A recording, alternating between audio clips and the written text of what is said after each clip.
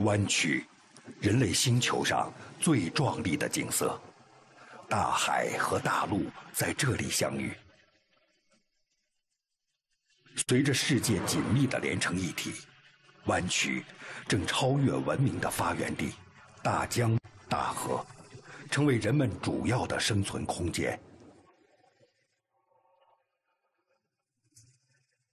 今天，全球百分之五十的人口。百分之六十的 GDP，百分之七十五的大城市，聚集在距海岸线一百千米的区域内。港口、公司、科技、资本的聚焦，让湾区成为创新的策源地，经济的增长极。借助资本市场，纽约湾区奠定了美国的财富，先进的制造业。让东京湾区成就了日本第一，在旧金山湾区，硅谷的信息革命让创新成为发展源源不断的动力。随着一个新湾区出现在中国的南海边，一切也许将再次改变。A project of progressive humanity, a project for for peace, and a project for. a market, a project for business, project for prosperity. And that is a very big leap. Creating a new model uh, for the rest of China, but also for the world. We must congratulate President Xi Jinping and his team for this uh, very important initiative.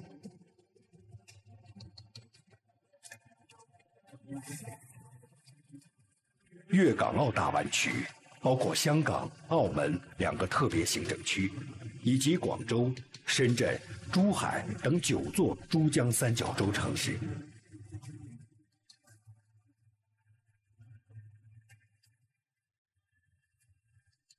这个中国湾面积几乎是纽约、东京、旧金山三大湾区的总和，八千多万人口。大致和德国相当。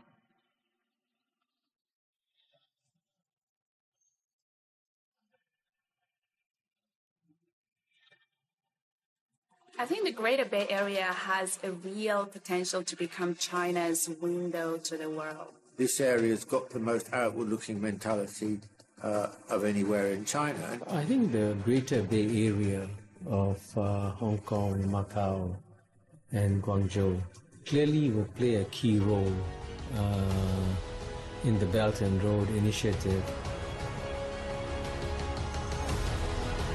大湾区，一个关于开放的新故事。这个新故事是如何开头？它又会给中国乃至世界带来什么呢？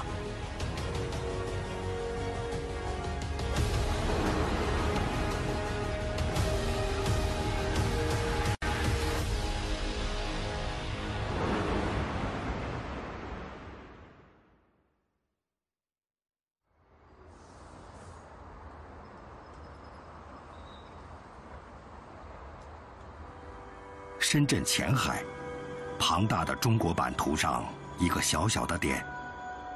未来，记录历史的人们也许会发现，这个面积只有十四点九二平方千米的点，曾经是一个时代的开端。前海啊，是习近平总书记到基层视察的第一站。二零一二年十二月七号啊，在这里啊。发表了重要讲话。从全局的角度来说呢，是推动和宣示啊改革开放再出发。二零一二年十二月七日，习近平总书记到深圳考察，考察的第一站就是深圳前海。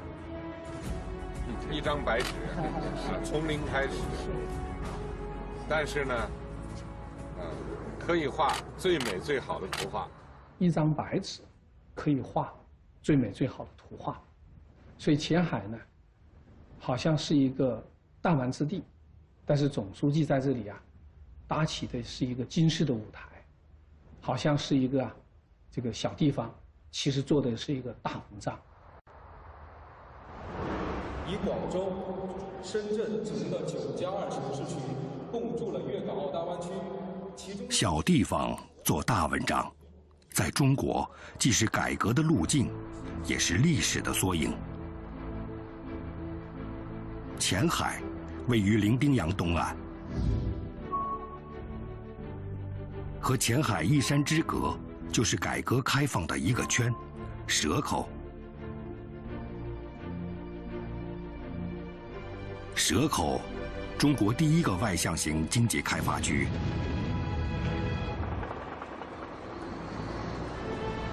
当时的领导人希望通过这个窗口引进西方的技术、资本和市场模式，为中国杀出一条血路。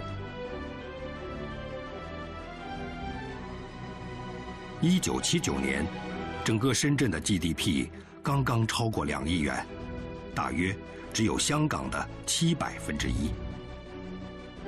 二零二一年，深圳的经济总量突破三万亿。超过首尔，亚洲排名第四。If you had told me in 1980 that I would come back in 2019 and see this remarkable China, which has got some of the most dazzling skyscrapers in the world, this incredible car population, this incredibly prosperous population with much higher, much better living standards, I would have said that that's an impossible dream. So what's remarkable about China is that an, that impossible dream has come true.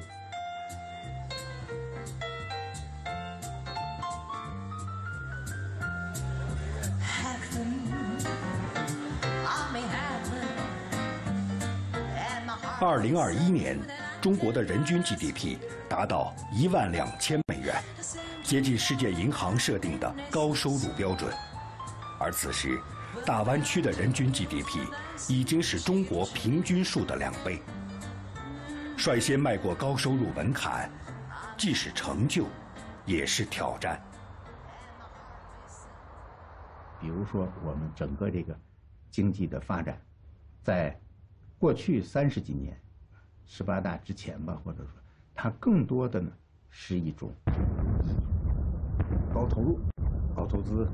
啊，这个工业的高速发展和高出口来支撑的，那么由此带来的呢是资源环境的约束越来越紧迫，那么这种状况再发展下去啊，肯定是难以为继了。二零一三年这个雾霾的大爆发，呃，倒是发展了，最后发展出这么一个严重的雾霾。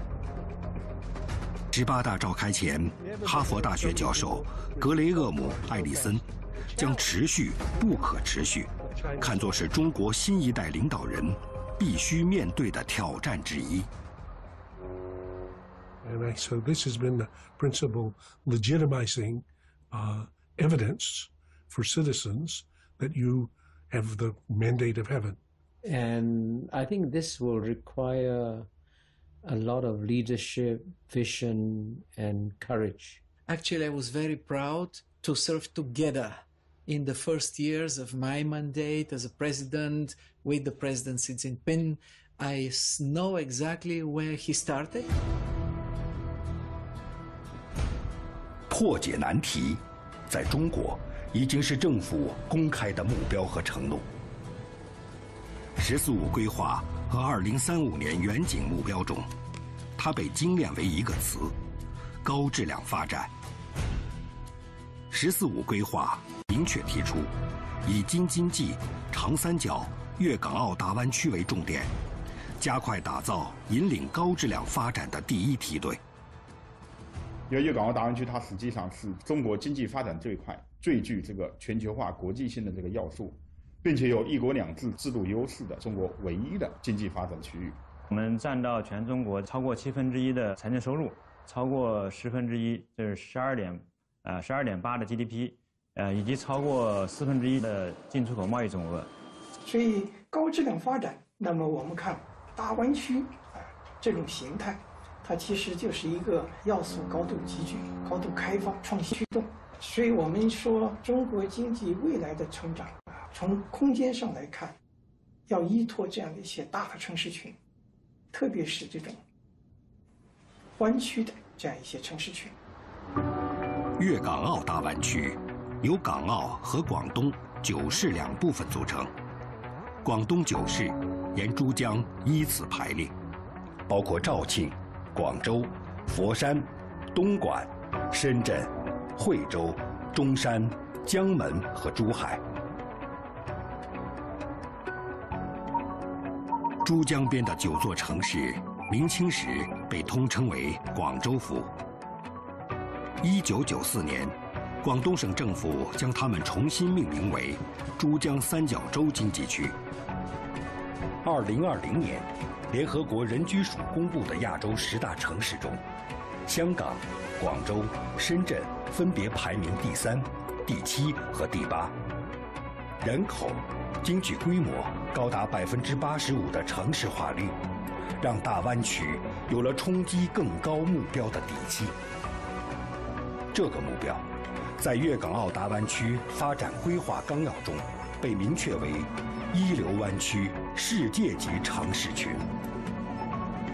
世界一流彰显勃勃雄心，同时也意味着挑战艰巨。我查了它的整个的体量的话，呃，现在是相当于一九九七年的英国，现在等于说我们现在跟英国还有二十年差异。二零二零年，大湾区人均 GDP 大约只有东京湾区的一半。如果再对比纽约的资本市场，旧金山湾区的创新能力，差距更加明显。短板实际上。还不止这些。你比如说，区域发展不平衡。肇庆它在最犄角里头，肇庆的这个人均 GDP 啊，不但比大湾区的平均低得多，它比广西人均 GDP 啊低三千八百块钱。现在县长面对什么问题呢？就是这个经济发展，这个速度比较慢，主要反映在我们这个产业结构，这个基础比较狭隘。过度注重这个金融地产，我们产业更加单一了，永远是一个博产业，以后这个长期的发展和持续的发展就有问题。发展不平衡、不充分，产业单一，传统优势越来越弱的同时，又创新乏力，类似短板。实际上是整个中国经过四十多年高速增长，需要共同面对的矛盾，也是只有高质量发展才能破解的难题。转变发展方式，就像给一列行驶中的高铁更换发动机。大湾区面对的特殊挑战，还在于发动机由三地生产。如果我们看京津冀协同发展。长江经济带发展战略是吧？它基本上是在党的领导下，我们这个内地的一个发展战略。而大湾区呢，它有港澳，那么是在一国两制条件下推动这种协同发展，所以它就有很多挑战。大湾区。包含三个关税区、三种货币、三套法律体系。这种情况下，让粤港澳形成合力，挑战不小。如果合力的目标还是和纽约、东京、旧金山湾区比肩，无疑挑战更大。二零二零年，纽约湾区的人均 GDP 大约八万美元。通过追赶。大湾区哪怕只达到一半，总量上它也将相当于今天的两个纽约湾区。通过什么方法完成追赶呢？粤港澳大湾区发展规划纲要里面，这个在前言里面呢，对于大湾区的定位，一个呢就是这个新时代全面开放新格局的新尝试，另外一个呢就是一国两制事业的新实践。二零一二年十二月七日，深圳前海，几年后将耸立起高楼大厦的地方，此时还只是一片空荡荡的滩涂。滩涂上留下了总书记一张白纸可以画最美、最好图画的嘱托。后来，当人们回味这句话时，也许会发现，它表达的不仅仅只是情怀。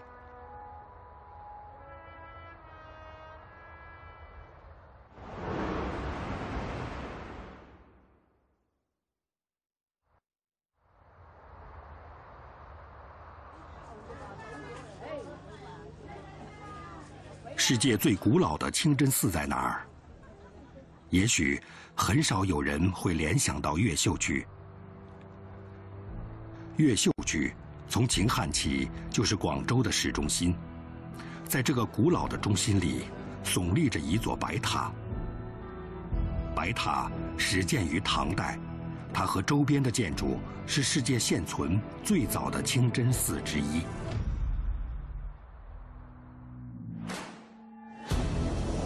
一千三百多年前，当越秀建起清真寺的时候，以广州为枢纽，两条跨越陆地和海洋的商路，已经将欧亚大陆连成一个整体。商路以丝绸命名，海上和陆地的丝路共同开启了第一波全球化浪潮。二零一三年，“一带一路”。在给全球化注入新能量的同时，也为中国构建出开放的新格局。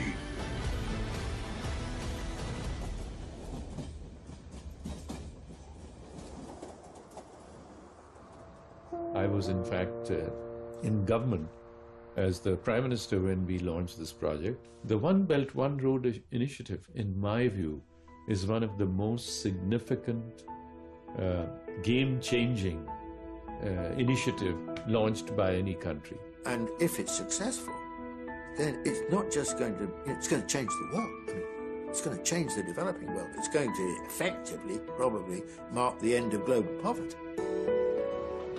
一带一路响应倡议的国家和地区超过一百四十个，在这个全球三分之二国家拉起的朋友圈中，大湾区地位特殊。If you look today at the world, the global trade, eighty percent of the global trade passes through or origins from countries that are here, from Japan, China, Korea, down to Singapore.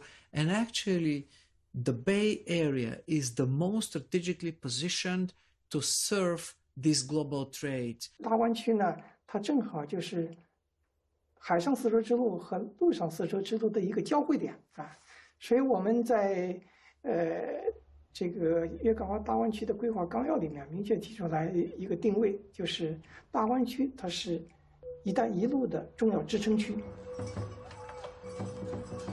一带一路”的重要支撑，这样的定位，在中国只有大湾区一地。特殊的地位。一定程度上源于特殊的历史。广东省东莞市虎门镇，珠江边的一座普通乡镇。这座普通乡镇却有幸两次启动了历史，一次是虎门销烟，另一次则发生在1978年。1978年7月。港商张子尼在这里创办了太平手袋厂，港方负责进口生产设备、原材料以及产品外销，虎门镇则提供厂房、劳动力并收取加工费。这是中国第一家三来一补贸易的工厂。香港把它的制造业转移到珠三角，哎，那么香港呢，它向服务业转型，它建立起它的高速发展它的国际金融、国际贸易、国际航运中心。地位确立起来，那么它的制造业转移到珠三角，珠三角很快的从一个农业社会转变为一个现代工业社会，成为世界制造业基地。二零二一年，珠江三角洲制造了中国百分之三十五的电子设备，将近三分之二的工业机器人超过十分之一的电气机械和汽车。从当初的手袋到今天的手机，从超人玩具到工业机器人，大湾区的巨变，用无可辩驳的现实彰显着开放的力量。在开放过程中，港澳的作用不可替代。推动国家改革开放这方面的作用源于香港跟国际这个接轨，外国投资者，呃，希望用香港作为一个这个进入中国市场的通道。香港这个平台，啊，这个是改革开放四十年，给我们筹集了百分之五十四的境外投资，啊，也就是就香港的一个一个地方超过所有外资的总和。二零一八年十一月，人民大会堂。习近平主席会见了港澳各界庆祝国家改革开放四十周年访问团。会见中，习近平主席用投资兴业的龙头、市场经济的示范、体制改革的助推、双向开放的桥梁等六个作用，评价港澳对祖国的贡献。在肯定港澳不可替代的同时，习近平主席也鼓励港澳融入国家发展大局。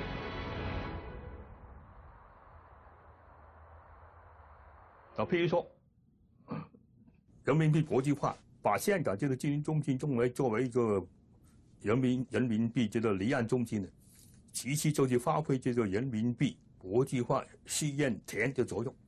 啊，我们要是是中西文化交流的一个城市。跟葡语国家的联系是非常密切的。中医药，呃，举一个例子吧，透过澳门，呃，可以把中医药的好处，啊，以医代药的方式推进到啊莫桑比克、啊安哥拉、啊等非洲的葡语国家。如果把设立特区看作中国开放的起点，那么“一带一路”无疑是它的升级版。升级。首先是硬件提升。大湾区机场群由五座机场构成，作为世界最繁忙的航空港，2021年仅从香港机场进出口的货物总额就超过1.7万亿人民币。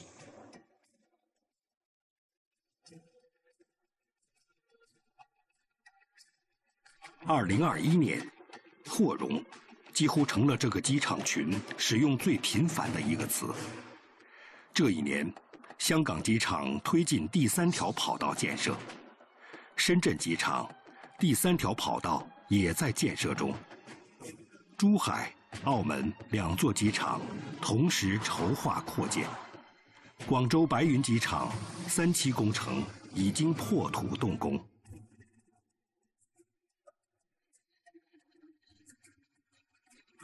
从这些大兴土木的机场升空，一个庞大的港口群立刻尽收眼底。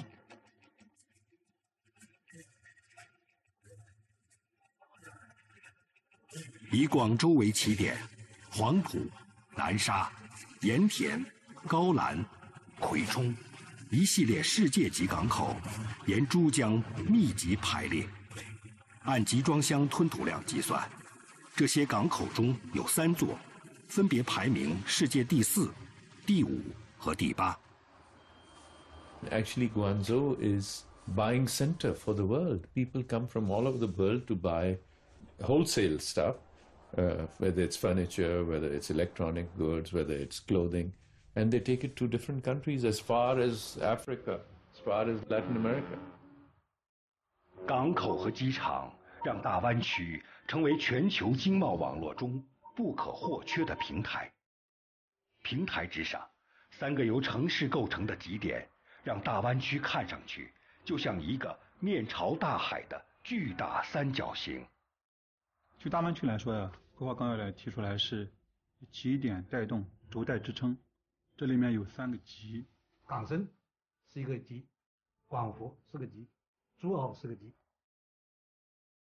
广州、佛山、珠海、澳门、深圳、香港，过去虽然在地理上比邻，但是由于发展水平的差异，彼此的合作更多的是港澳出资、出订单，内地出人、出力。大湾区战略出台后，一加一的目标开始大于二。大湾区其实这个规划里头一个最突出的一个一个亮点呢，要建设国际有有影响力的国际科技创新中心。香港其实在在搞创新科技的是有很好的基础的。那么香港有好几家大学都是排名前前全世界很前的。深圳，它的产业资源、创新创业的这个氛围非常好，有创意了，可以在一个月之内实现产业化，这毫不夸张。那么，因此，如果能够有机的把粤港澳大湾区了蓬勃的发展的经济的这样子一个动力呢，具体的把它连接起来的话，它会形成一个啊健康的一个有机体。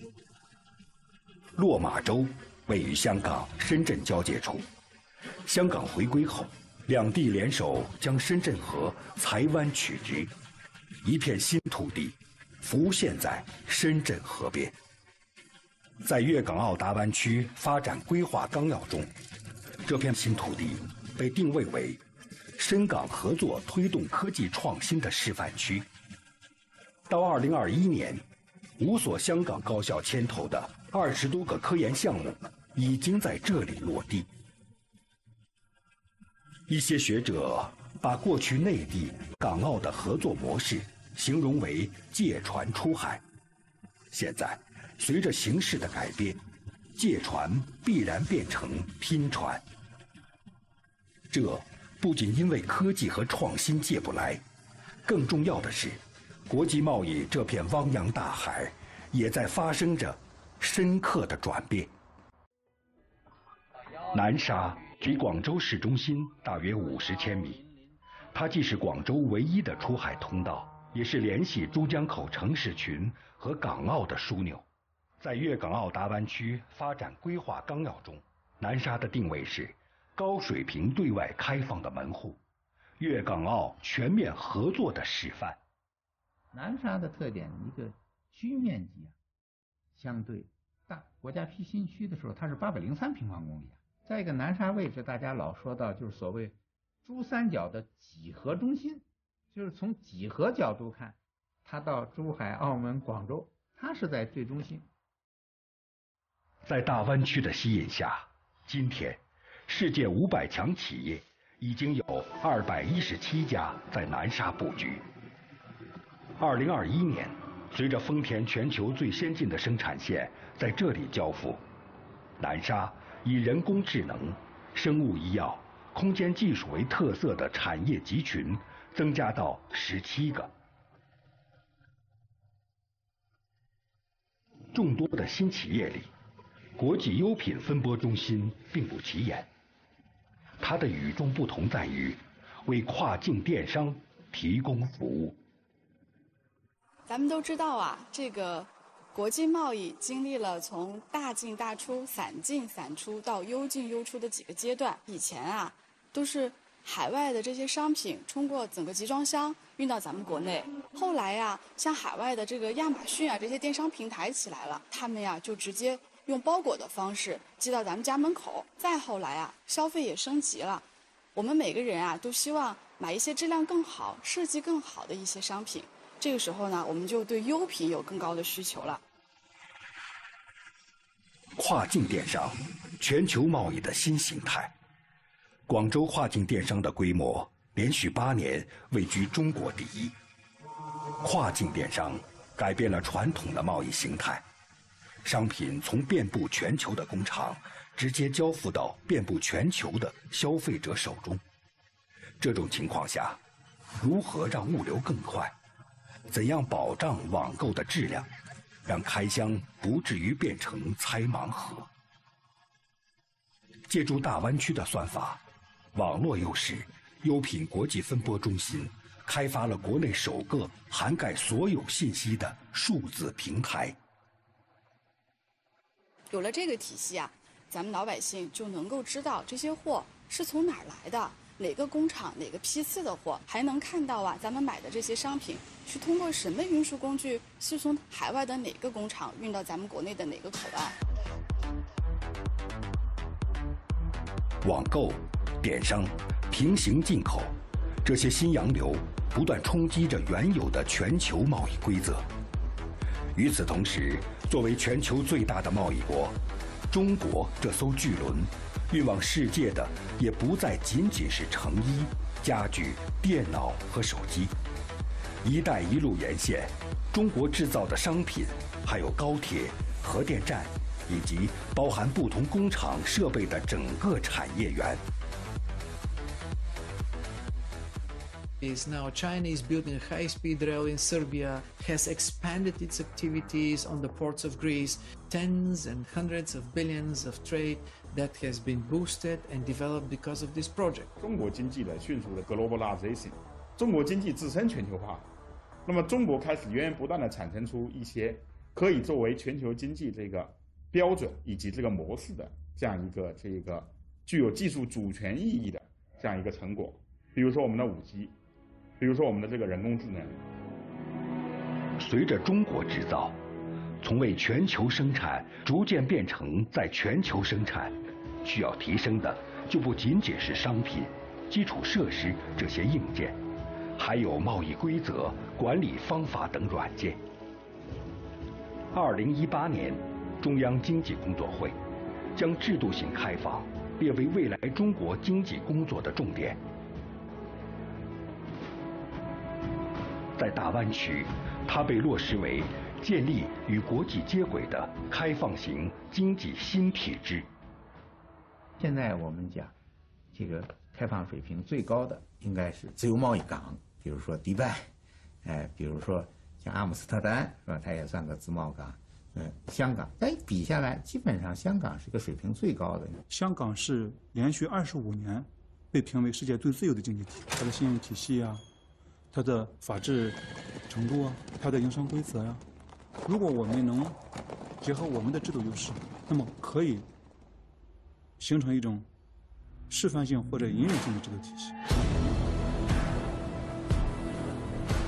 全面开放新格局的大幕逐渐拉开，通过一体化，由粤港澳契合而成的统一市场初具规模。如何保证这艘结合三地优势的巨轮行稳致远呢？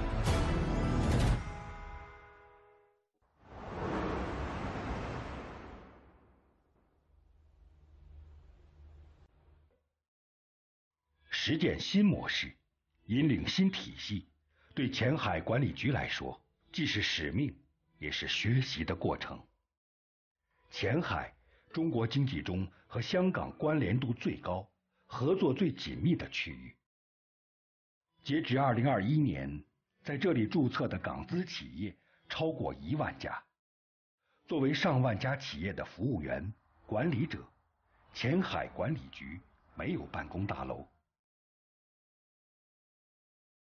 从设立的那天起，他的工作场所就始终在。三百三十三个退役的海运集装箱中，虽然叫管理局，但是它不是政府，而是法定机构。法定机构的很简单的一个概念就是，我们科学园的呃股东只有一个，就是香港政府，但香港政府不会直接管我们。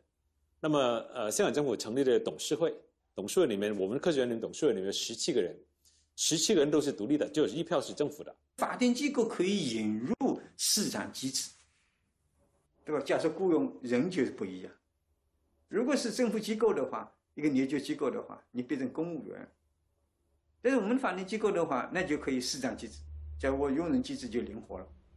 我一年、两年、三年的合同，根据你的 performance，根据你的东西来决定去留。机构法定就是将官置于法下，把公务员变成职员，就是要通过绩效和竞争提高服务效率。目前在前海注册公司这样的事，几乎通过自助打印就可以完成。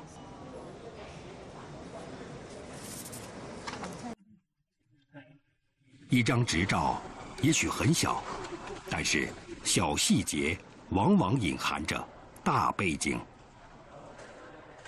他本来有一个目标，就是建立一个类似香港的金融中心和商业协会。比如说，他的法庭制度，某程度上仿效香港法庭制度，他的税收制度也是这低税率，跟香港这个这个看齐。据英国《金融时报》报道，二零二一年香港股市交易额已经是伦敦证交所的四倍。二零二一年，以金融为代表的现代服务业，占到了香港 GDP 的百分之八十八点六三。同一年，中国大陆服务业的比重只有百分之五十三点三。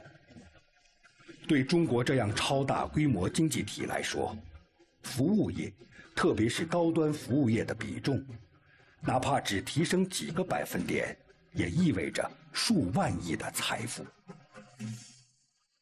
Hong Kong is a very well developed uh, financial center. Why? What are the rules that glo- major global financial institutions are comfortable with? And fortunately, uh, China doesn't have to go to New York or to London to study. They can learn from Hong Kong.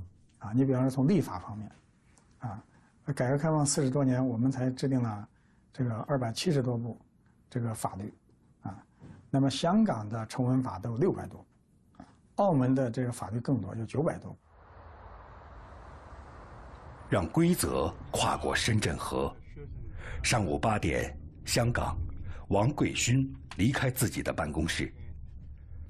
王贵勋曾任香港律师会会长，现在他是深圳国际仲裁院的一名仲裁员。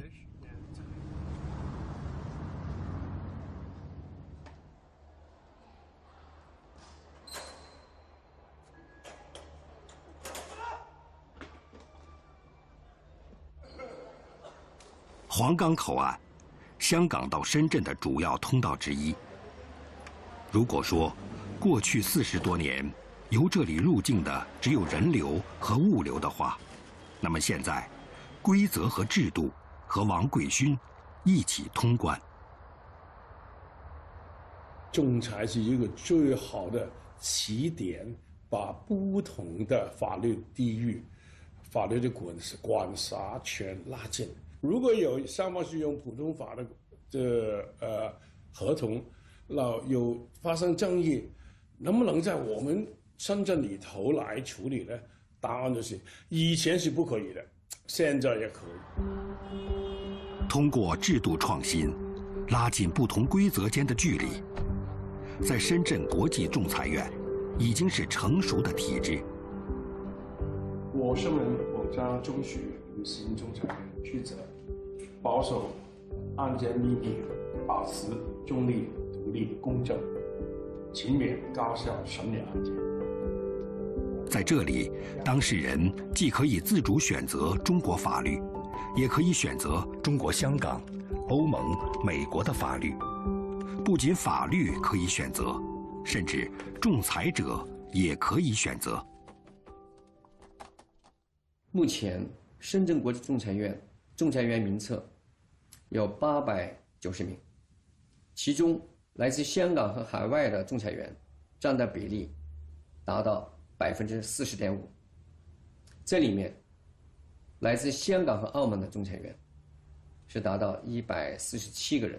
一些跨国企业哈，这个大型企业，比如像汇丰集团啊，这个他们选择把总部放在前海，就是他们认为前海的这个营商环境是一个法治化、国际化、市场化的这样一个环境。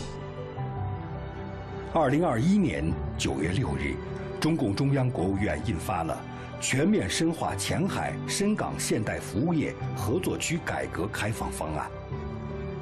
根据方案，前海从十四点九二平方公里扩展到一百二十点五六平方公里，扩容后的面积几乎相当于一个半香港岛。前海发展不错，大幅扩大香港这个发展腹地。现在呢，西方国家加紧这个遏制中国崛起的时候呢，他也不愿不太愿意香港呢，在这个国家崛起过程当中发挥太大这个作用。在这种情况下，我们必须打造几个平台，以我为主的几个平台，在这个平台上采用国际最先进的制度体系。那合作起来了，就产生很大的这个作用。那跟那个纽约的啊、三藩市跟那个东京湾呢，都可以比，跟他们一比高下。前海方案出台一个月，香港特区政府以施政报告的形式宣布，在与深圳比邻的区域发展北部都会区。北部都会区占地大约三百平方千米，建成后将拥有七个香港通往内地的口岸，要素顺畅流动，将为香港创造出超过五十万个就业机会。通过新口岸到内地上班，澳门特别行政区的一些官员开始了新的一天。这里是珠海横琴，前海方案印发的前一天，横琴粤澳深度合作区建设总体方案已经率先出台。横琴的方案啊，其实是希望能够吸收澳门的一些长处，同时呢，很具体的帮助澳门解决一些具体问题。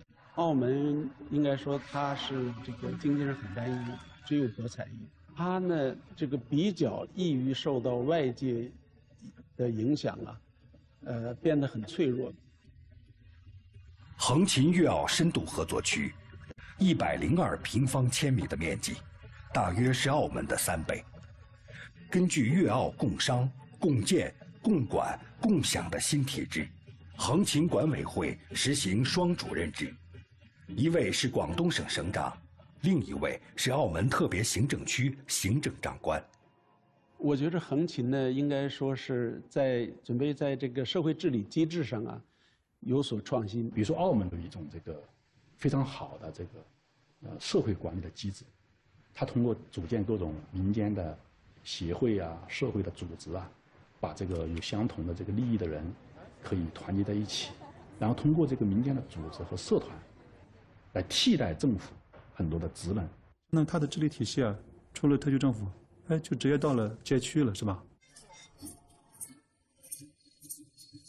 社区直接和民生对接，衣食住行看似琐碎，但是车靠哪边走，灯该怎么亮，奶粉谁家靠谱，社保能不能三地通行，这些具体的问题对百姓来说更能感知“一国两制”的温度，湾区建设的水平。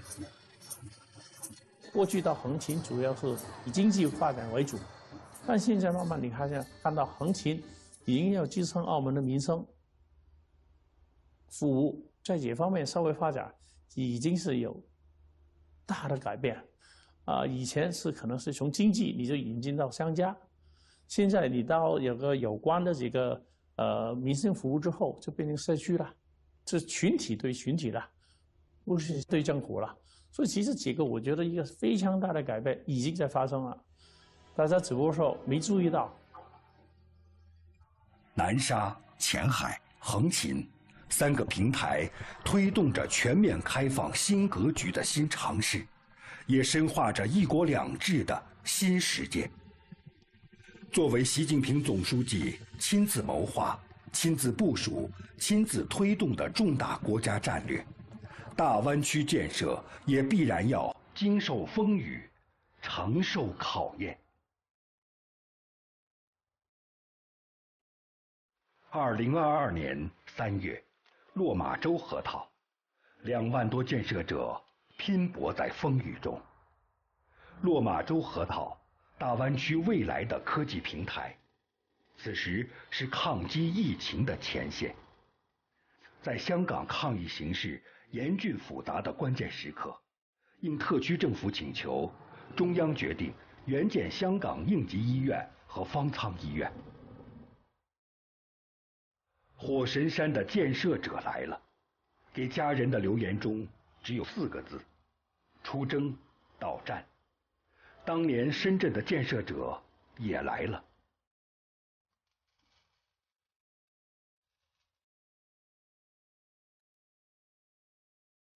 三十天，将水塘、农田变成办公楼、负压病房，这样的奇迹，大概只有中国才能创造。因为身前身后就是家，所以每个人都退无可退。毕竟血浓于水，所以危难时才会说出“岂曰无衣，与子同袍”。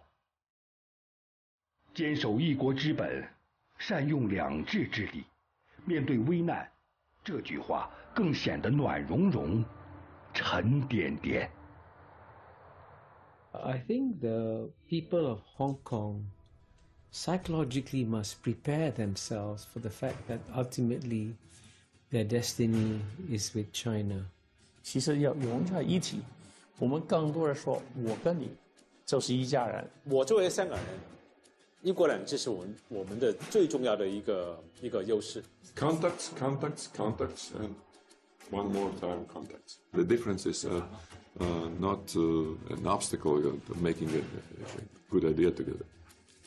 The difference is, is, is, making you stronger. So the idea that this arena goes together and can be integrated and can be another area for growth seems to me to be a, you know, a powerful idea. To have a win-win cooperation, to have a long-term plan, to have a dream. As Chinese people are dreaming today about peaceful development, about progress. 伶仃洋，大湾区的门户。从1840年鸦片战争算起，这里数百千米的海岸线，目睹了几代人的沉沦、奋起、拼搏、牺牲。百年洗礼之后，中国的改革开放将从这里再出发。此时的大湾区应该并不缺乏和当年一样的汗水、泪水、血水，以及比这些还要宝贵的首创精神、开放勇气。因为这里是中国，因为这里是不断创造奇迹的中国湾区。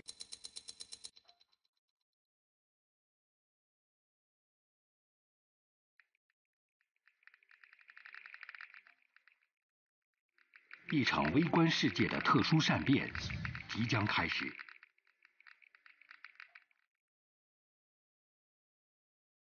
一颗粒子进入将近十千米的巨型管道，不断加速后，接近物质的极限，零点九倍光速。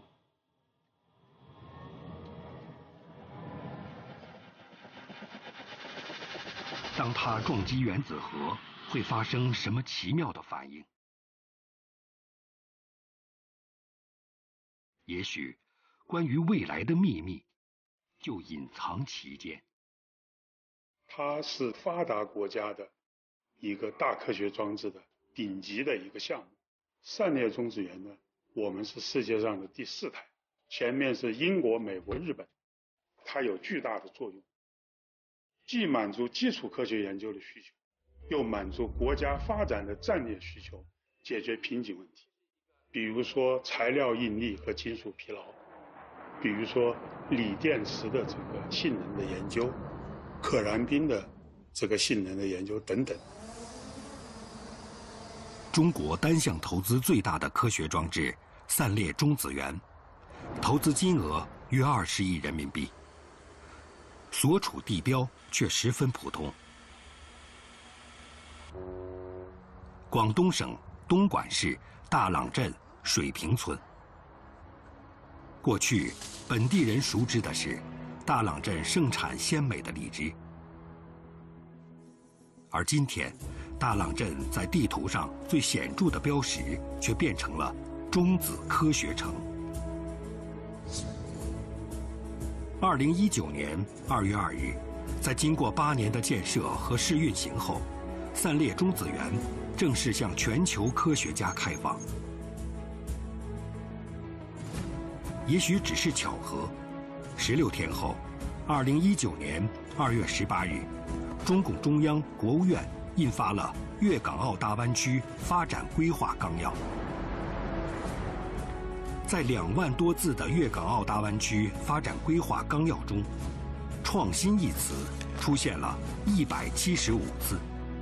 作为一项由中国国家主席习近平亲自规划、亲自部署、亲自推动的超级工程，创新被确定为粤港澳大湾区的灵魂、目标和使命。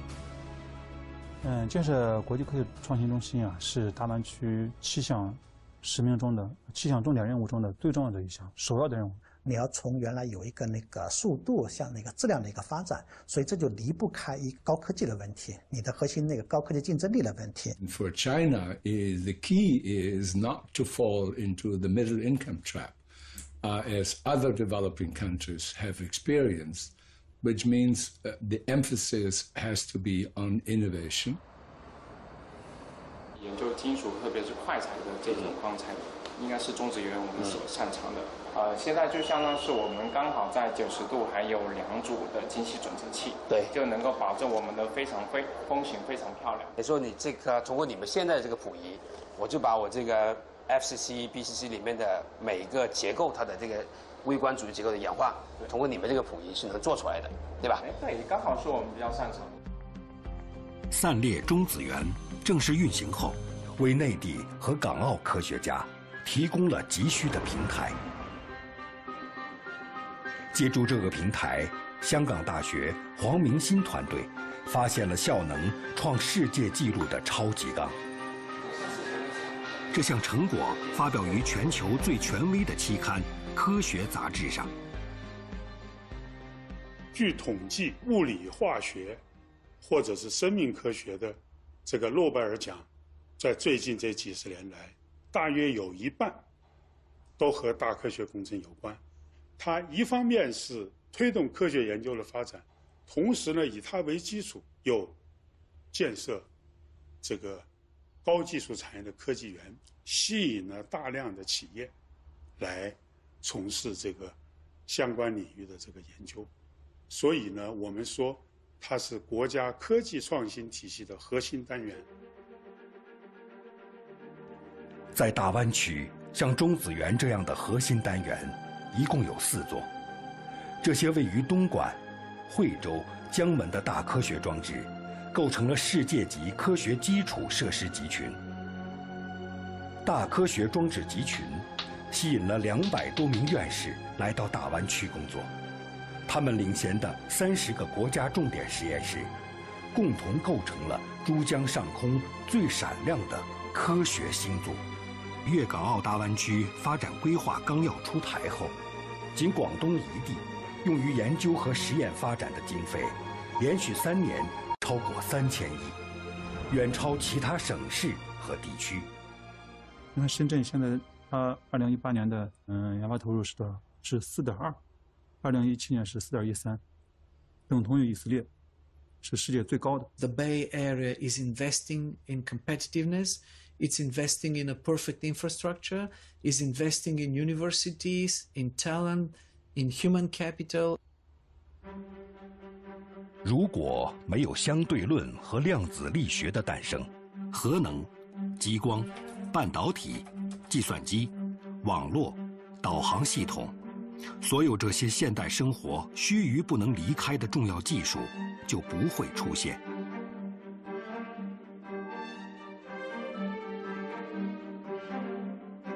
而二十世纪基础科学所爆发的红利，正在消耗殆尽。新技术革命的曙光会在哪里升起？最为深刻的变化，一定源于人类对世界认知的改变。在粤港澳大湾区发展规划纲要中，加强创新基础能力建设被提到了极其显著的位置。而在所有能力建设中，最需要时间累积的，则是教育。美国的旧金山湾区呢，它还有一个非常好的一个高等教育环境，那么在里面呢，有一些世界级的一个名校，包括加州大学的伯克利分校以及斯坦福大学。那么在这样子的一个环境之下，它其实对于人才的供应呢，提供了直接的这个帮助。And I think that that's, you know, fundamentally important to an economy and to um, the development of any technology is having the, you know, really strong scientists and expertise. 从大学里出来去搞好的基础研究，出来以后创新才有突破。我们需要一大批这个新型的高等教育，因为人的思维理念这个实际上是第一位的。就像硅谷的成功离不开斯坦福大学一样，信息时代，一流大学作为生产知识、信息的特殊工厂，更是一流湾区的标配。拥有世界一流大学，恰恰是大湾区的优势之一。你像国际高校排名，那它在前五十名或者前一百个最好高校里头，香港四所，然后中国台湾一所，内地只有五所。像香港的这些大学啊，它的在这个这个科学啊，包括工程方面，啊，跟世界上是基本上是同步的。那么现在通过湾区建设把它放在一起，是吧？这个有世界上最先进的这种这种信息、这种科技的优势，再加上内地的这种人才的优势集合在一起，啊，它就会成为世界上呢最具创新的这个地方。粤港澳大湾区发展规划纲要中，特别提出支持粤港澳高校合作办学。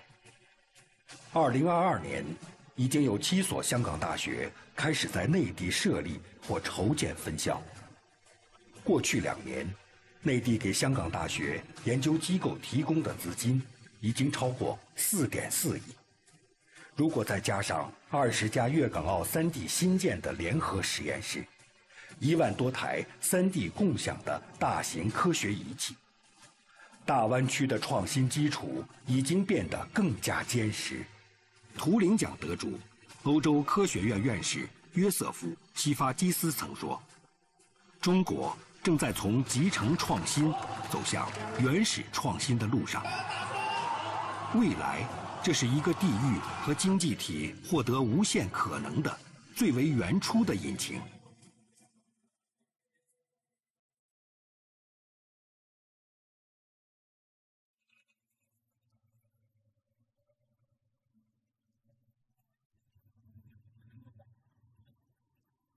对八十三岁的薛国航来说，每一秒都很珍贵。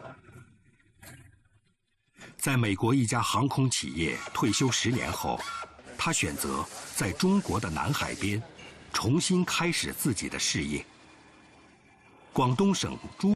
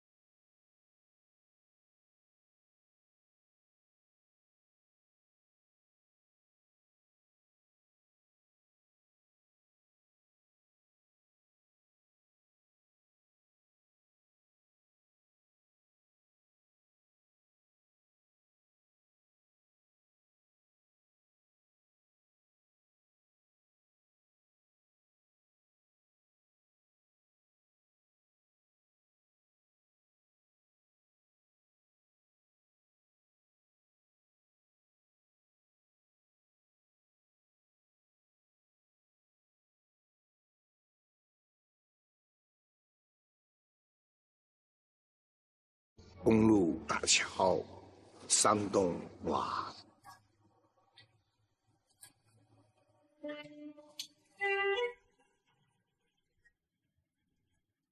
从薛国航制造的飞机上俯视大地，惊人的成果排列在珠江两岸。离薛国航工厂不到五十千米，就是中国最大的通用飞机生产基地和亚洲最大的飞机发动机维修中心。产业，大湾区最大的优势之一。过去在列入统计的四十一个大类工业行业中，大湾区有四十个，其中销售额居全国前三的有二十五个。二零二一年，大湾区五 G 产业和数字经济规模全国第一。在中国的第十四个五年规划和二零三五年远景目标中，大湾区和北京、上海一起。被列为未来中国的三大国际科技创新中心。这三个嗯科创中心啊，它的定位啊、目标啊、路径啊都是不同的。比如说北京，更多的是要发挥大院大所的作用，因为我们这边的高校啊、科研院所啊、国家创新力量啊太多了。而上海的这个呢，它更加强调什么呢？强调全球影响力，要集合全球的资源。大湾区更多做一到一百。或一百到一万的这种科技成果转化的创新链后端的这种事情，让创意在最短的时间里变成产业，大湾区的独门武功从何而来呢？佛山顺德，四十多年前，顺德只是广东南部一个不起眼的小县城。趁着改革开放的春风，顺德。拥有了自己的产业，被誉为家电之都、燃气具之都。仅仅从这些名称上，我们就能了解到顺德曾经的产业定位。但现在，新的变化已经在酝酿和生长。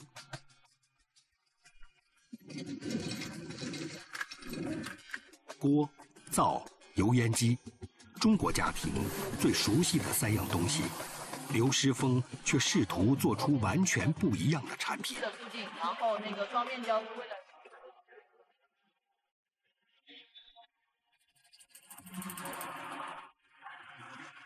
通过半年多的用户调研，他们设计出了新产品，把蓝牙装置装在锅上，通过装在锅巴上的遥控器来控制火候，减少和避免弯腰的动作。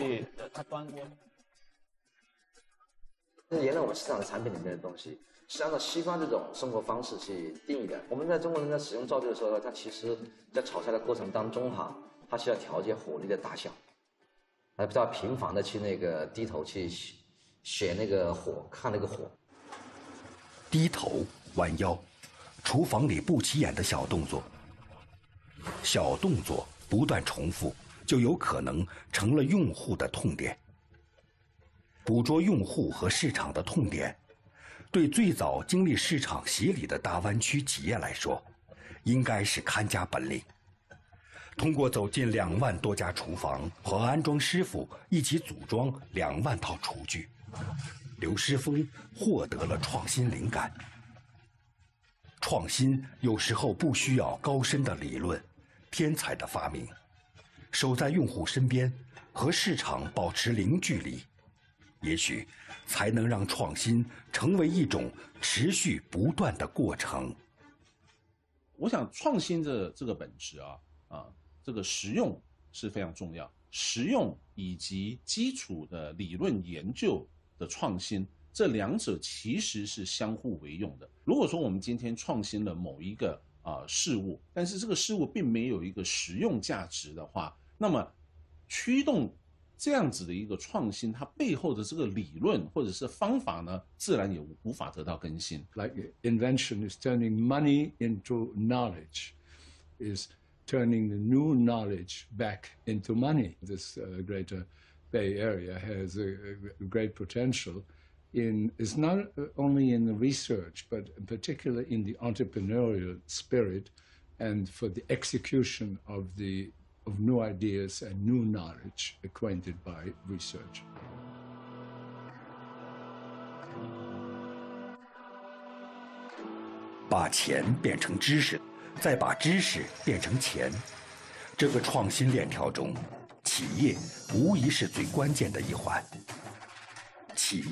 特别是民营企业，作为创新主体，恰恰是大湾区最大的特点和优势。我觉得这是区别于上海、区别于北京最大的特点。我我们老实说，京津冀我们可以理解成是央企加国企，那么长三角呢，我们可以理解成是外资加国企，大湾区呢，我们就可以理解成民资、民企。这是我们未来创新的源泉，创新的主力军。我们讲的叫四个百分之九十啊，就是研发投入啊，这个专利成果的发明啊，这些百分之九十都是来自于企业。二零二一年，据年报显示，华为对于研发的投入达到了创纪录的一千四百二十七亿人民币，几乎占到了广东省研发投入的一半。广东省三十家国家重点实验室中。以企业为依托的占到三分之一，企业成为创新主体，让中国制造开始了向中国创造的华丽转身。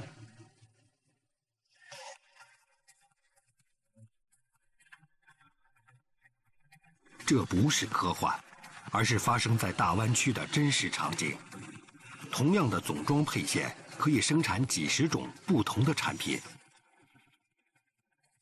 车间里没有人类，因此也不需要开灯。从柔性生产线到灯塔工厂，这是美的在广州南沙建设的未来工厂。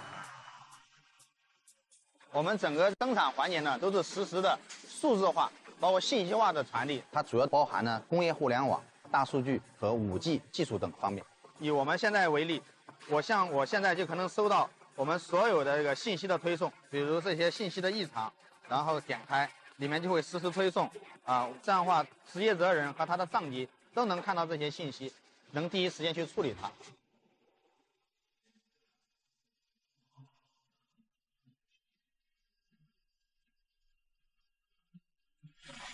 工业文明催生的传统制造业，曾为人类的进步做出了巨大贡献。但已遭遇越来越严峻的挑战，高成本、高能耗、高污染等问题，迫使人类寻找全新的出路。发展智能制造，转变制造业样态，成为世界各国的共识。为了做出示范，从2018年开始，达沃斯世界经济论坛。在全球遴选数字化制造和全球化4.0的示范者，称为灯塔工厂。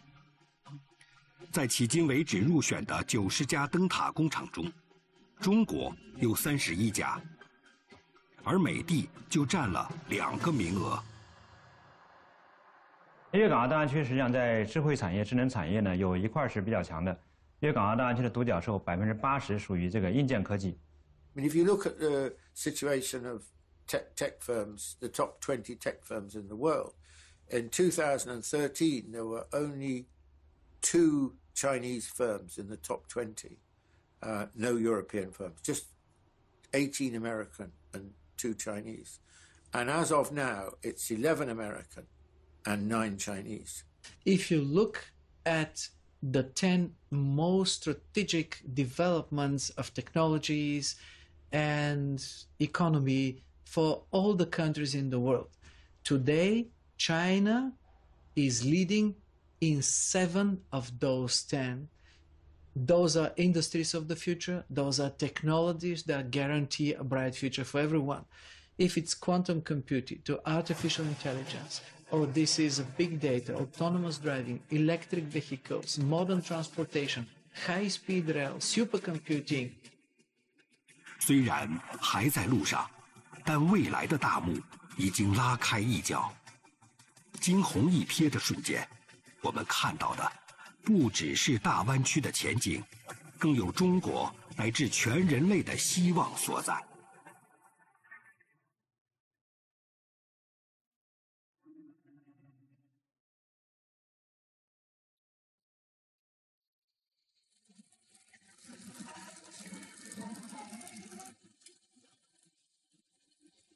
拖车的轮子磨过水泥地，华强北的一天又开始了。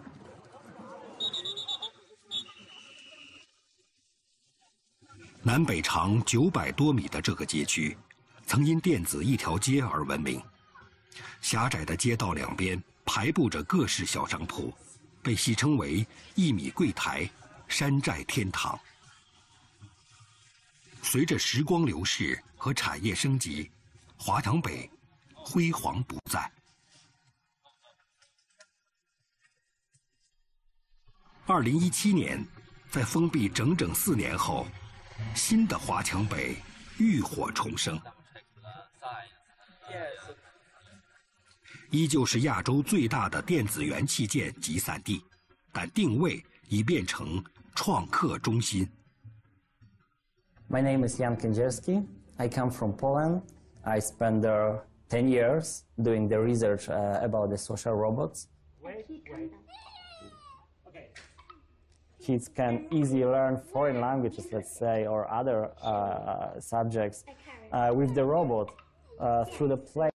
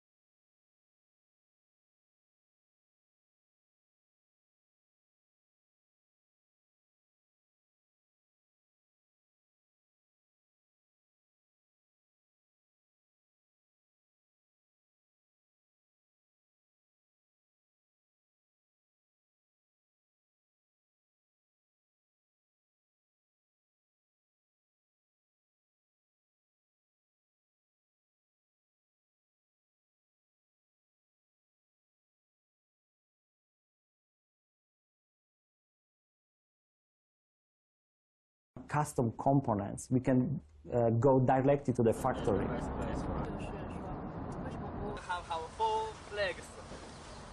We organize this uh, different image to a robot.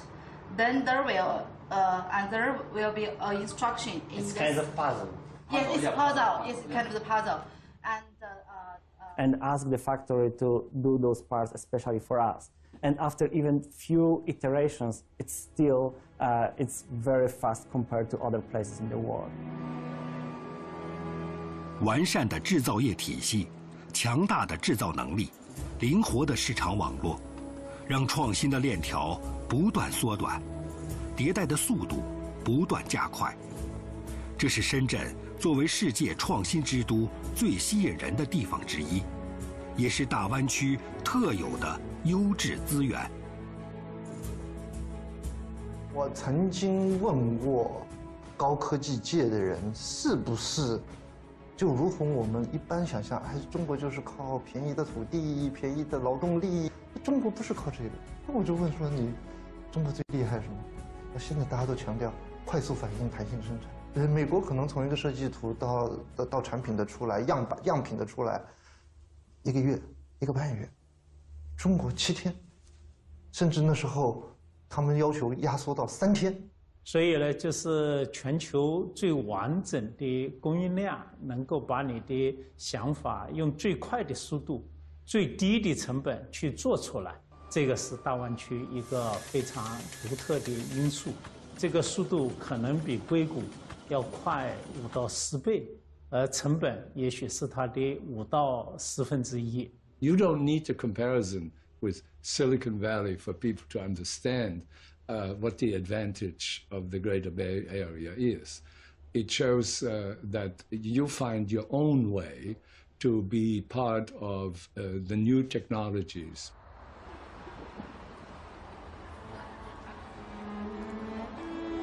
现在，易安和妻子两个孩子一起生活在深圳。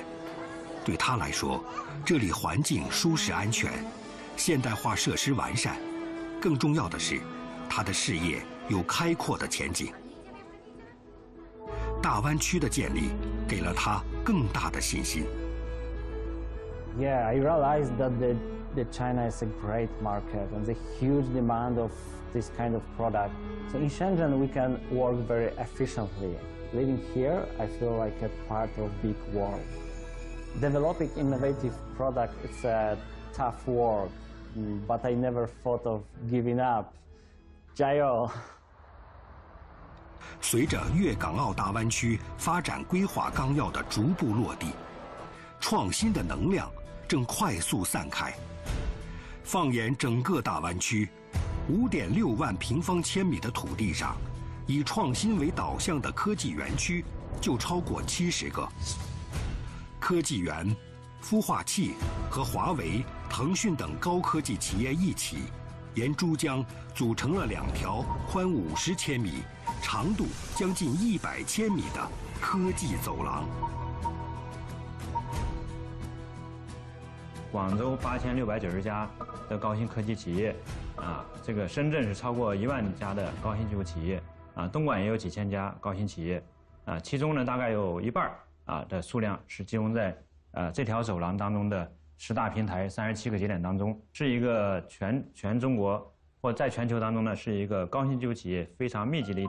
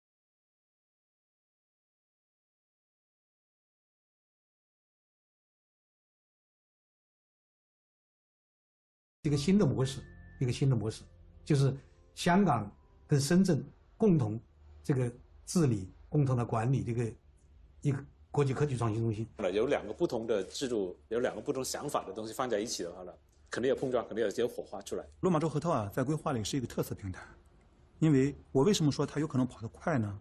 并不是说规划纲要把它定位很高，而是在实施操作中啊，香港特别关注落马洲河套地区，因为香港。制造业空心化，然后服务业呢，特别是高端服务业，能解决的吸吸纳就业能力又特别小，所以他们现在需要寻寻求发展动能，怎么寻求发展动能？他们要向科创要动能。科技创新，粤港澳三地的最大公约数。为了求得这个公约数。需要将港澳的科研、融资能力和内地的产业市场规模连成一个开放的生态圈。二零二一年，落马洲河套建设被列入了中国的“十四五”规划。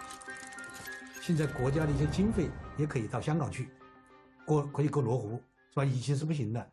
这实际上这体现了国家对香港这个科研创新、科技创新这个角色的重视。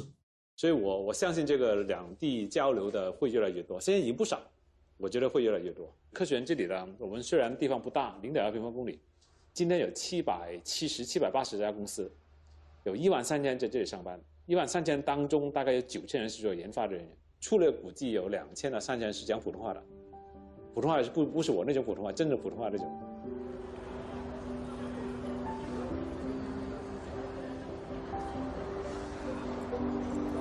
从落马洲往西，隔着深圳湾，七十千米外，也有一片仅仅一河之隔的土地。河东是澳门荡仔岛，河西是珠海横琴。一百多平方千米的横琴新区，被定位为促进澳门经济适度多元发展的新平台。富有特色和差异化的高新科技产业已经在这里布局。太漂亮了，太漂亮了，很感叹啊！现在澳门已经有四个国家重点实验室了，一个是中药质量的，一个就是呃集成电路的，一个就是呃月球与恒星科学的，啊，还有一个机位城市物联网的。所以说，新的方向其实对澳门产业多元化是起了一个非常根本性的改变。我们把握是呃把持是一个呃宗旨吧。呃，就是引进来啊，跟走出去，先鼓励组织澳门的青年创业的企业家走出去，啊，到与国家，包括葡萄牙还有巴西，到那边做进行交流与这个考察，呃，先了解呃人家的先进的地方，呃，有什么可以借鉴，呃，有什么可以合作的，回来以后他们自己也对接起来了，跟当地的企业啊，跟当地的青创的孵化中心。呃，也自动的对接起来。现在，更多关于人才和资源互通的政策已经出台，或者正在酝酿。港澳和国际人才在大湾区工作生活，可以享受更多的优惠政策。知识产权的保护措施越来越完备和严格。一切举措。都是为了让创新要素能更顺畅、更自由地流动。整个大湾区粤港澳这个地区的活力，都是从可以说是十年之前就开始萌芽积累，它的人才流、信息流，包括它的呃电子工业相关的基础，带来了很多的机遇。这些机遇里一定会涌现出许多的公司。越来越感受到过去可能是珠三角，而且是这个一国两制不同的体制。呃，各自发展，那现在现在越来越变成一种融合成一个湾区互联互通，呃，里面的经济社会文化交流越来越融合一体了。我们感受到这个湾区经济的这种呃融合式发展呼之欲出。And just the the the amount of energy and people and opportunity in that space of the of the three who are linked. Is so significant that i think it's a you know it's going to be a big success story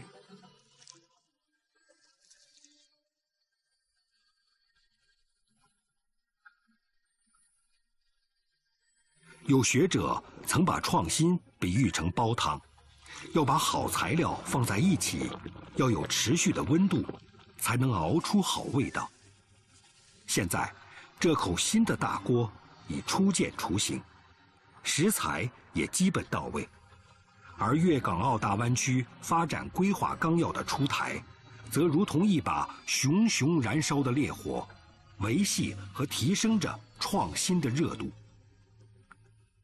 如果说曾经的珠三角经济圈是一个自发形成的小生态圈，那么粤港澳大湾区发展规划纲要促成的，将是一个更为宽广。包容和活泼的大生态圈。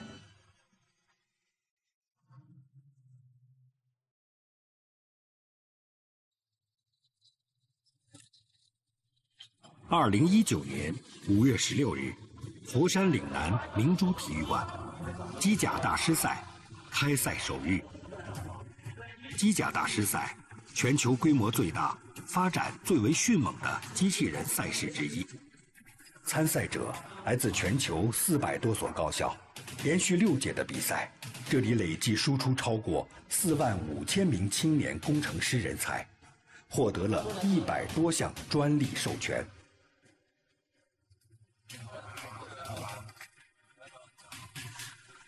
宣俊鹏，华南理工大学四年级学生，作为卫冕冠军华南虎的队长，这。将是他最后一次带队站在赛场上。其实我们做比赛不是为了打比赛，是为了去积累、去学习那些技术。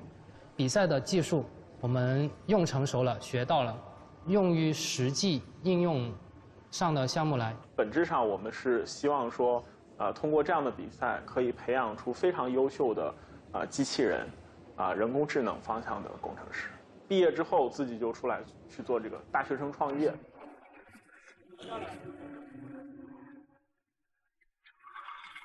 也许几年之后，这些年轻人中就会涌现出引领潮流的创新者和实业家。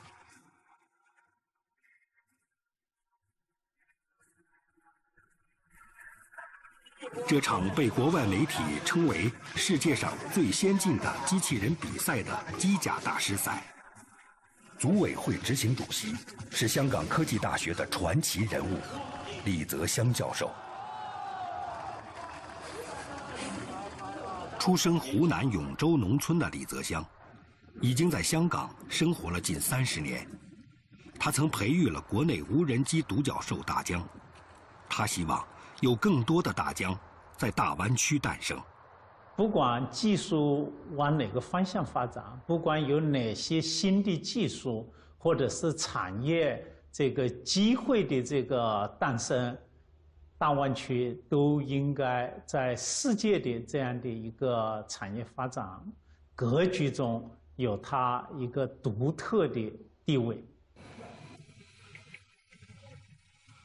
二零一四年，由李泽湘等人共同发起的松山湖机器人产业基地成立。迄今为止，这里已经诞生了六十多个科技公司，其中有百分之十五成为独角兽。或准独角兽，有两个工厂，有食堂、体育馆、宿舍，还有一个科技博物馆。所以这里面呢，就是把年轻人进来，这里面有一个培训的部分，有一个孵化的部分，然后呢，他还能够做他的样机打样，一直到小批量的一些生产测试。这个中式的这样的基地，然后吃饭啦、体育活动啦，都在这里面，然后宿舍也都在里面，所以这种创新的因素都聚集在一个平台里面。粤港澳大湾区发展规划纲要出台后，李泽湘有一种时不我待的兴奋和急迫。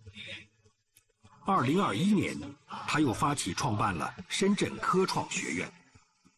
九月，第一批五十名学生正式入学。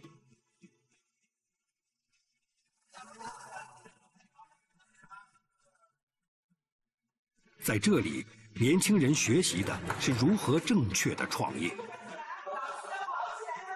我叫陈聪一，来自广州，目前在哈工大深圳上学。我是洪子业，我来自广州中山大学。我是蔡德珍，我家在深圳，来自于华南理工大学。我是陈宣伟，我来自佛山。从点子到产品，从实验室到市场，被称为科技创新的最后一公里，也是创新环节的关键所在。现在我们国家整体上这种呃成果转化率啊不高，这其实是一个很大的浪费啊。原始的科技创新。尽快的转化成生产力啊，转化成实际的经济能力，那么是一个区域发展的根本。如何打造成一个全生命周期的科技产业的这个服务链啊？我想这是作为我们未来成为世界硅谷的一个必要条件。大湾区的成立，让困惑和思索获得了更为生动和具体的场景，帮助企业跨越从科技到产品的死亡之谷。成为各地政府施政的重中之重。二零一九年，著名的孵化器创新工厂考虑在大湾区设立专注于人工智能技术创新的孵化器。没想到这个政府的决策的速度比我们想象中快。我们还在哎想要呃思考思考、琢磨琢磨的时候，那区域级领导说不用琢磨了，你们希望。落户在这个地方是什么样的条件能把你们引进来？我们说了，我们有一二三。他说，现在我们就可以拍板，这件事情我们现在就能做。但我们在筹备过程之中，在我们落地这个过程之中，大湾区就有了这个概念。我们觉得我们自己特别幸运，叫做又站在了浪浪尖上，除了原来广州已有的人才市场、产业基础之外，我们又多了一个政策红利。创新工厂最终把人工智能工程院的总部放在了广州黄埔，这里几乎就是创新转化的缩影。打通最后一公里必须的大部分资源在这里汇聚。需要人才，有校园招聘和夏令营；需要资本，就连接天使基金、创业基金。见证过四百多家创业公司的起起伏伏。陶宁对创新的理解越来越深刻。任何的创新这个发展都离不开市场、人才、技术、资金这四个缺一不可。把大湾区这个概念一说了之后，就相当于我们不仅不仅仅来到了广州这一个地方，实际是把整个湾区的四个重点城市的人才、产业、技术都能够囊括在我们的这种范围之内了。你们真的没有驾驶座椅，没有方向盘啊？对对对对，完全没有，完全没有。所以你们现在是真正的把这个车投入的运营里，应该是在国内第一家。对对对对，最早我们今年六七月份的时候，在广州不是那个抗议嘛？啊，对就就是这个小巴，就是这个小巴。对，那次是小巴第一次公开亮相。对，我们内部也开玩笑说，本来设计的是一个这个载人的小巴，结果第一次亮相是 给疫区送物资。实际上。今天的大湾区就是一个巨大的创新工厂，市场、人才、技术、资本几大要素在这里流转、融汇，源源不断地催生着新的幼苗，呵护着他们的成长。虽然科技成果转化的效率仍旧是一个挑战，但创新的土壤已经开垦，完善的生态。正在营建。从科学到技术，再到市场的路径，日渐通畅和清晰。Oh, I think the potential for the Greater Bay Area to become one of the most successful regional economies because all the uh, frameworks are in place uh, for that to happen. This region can become uh, the one of the most dynamic areas in the world. And I, I think this will happen. I think this is, this is what will happen actually. 中国科技的这种往前迈进的这个动能，我认为是相当的巨大，而且呢，这个后继的这个力量，是我认为这个劲道是非常的足够。 It's not a dream. It's not a fantasy. 这不是幻想。这是一个正在大地上书写的真实的故事，一个关于再次出发、再次热血沸腾的故事。粤港澳大湾区，十一座风格迥异的城市，一国两制的特色，在差异和互补之中，蕴藏着无限的机遇和创新的可能性。新一轮的创新浪潮。将从这里策源，不断推向远方。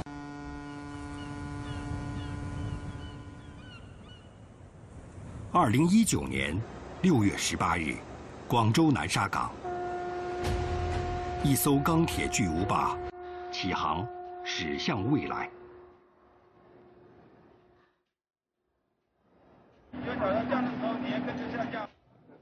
巨无霸。一个标准足球场大小，排水量超过辽宁号。八个小时之后，这个钢铁水泥的辽宁号将穿越伶仃洋，到达三十六海里外的桂山岛。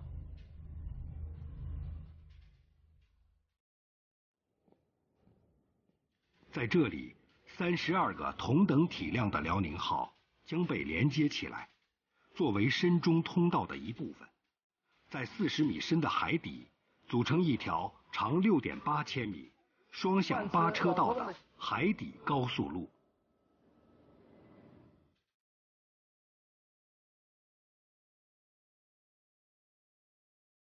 这么大规模的钢壳城管，在国内乃至在世界上面都是最大的。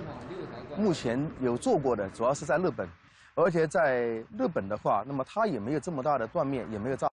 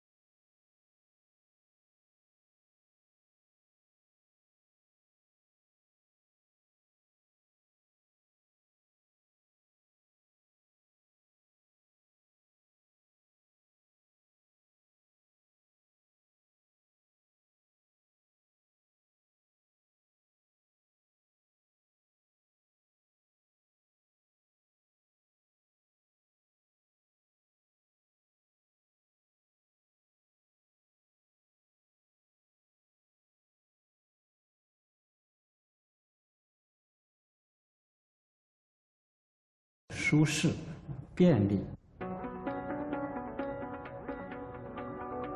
城与城之间的交通，变得像客厅到卧室那样便利。这个目标在粤港澳大湾区发展规划纲要中，被称为“一小时交通圈”。以深中通道为圆心，半径一百千米之内，三十一条城际轨道，六十七条高速公路正在连接起，也许是世界上最大、最密集的城际交通网。通过这个网络。大湾区主要城市间的通勤时间将缩短到一小时之内。如果你就是得坐火车，从这里到深圳，三十分钟可以坐，可以可以搞定。我曾经有一次在南山开会，两点钟开完会，两点四十五分可以回到这里。城市之间的分割的感觉是越来越模糊了。你可能住在中山，在澳门上班，在珠海消费。现在已经很多人是这样做，把十一座城市变成功能各异、优势互补的功能区。某种程度上，大湾区的十一座城市就被连接成一座城。对这座比纽约还要大七十一倍的巨型城市，曾任欧盟执委会委员、著名社会学家。曼纽尔·卡斯特这样评价：虽然世界大部分地区对他的感觉还很模糊，但是他将成为二十一世纪卓越的工业、商业、文化中心，未来最具代表性的都市面貌。这座二十一世纪最具代表性的城市，将给生活在这里的人们带来什么呢？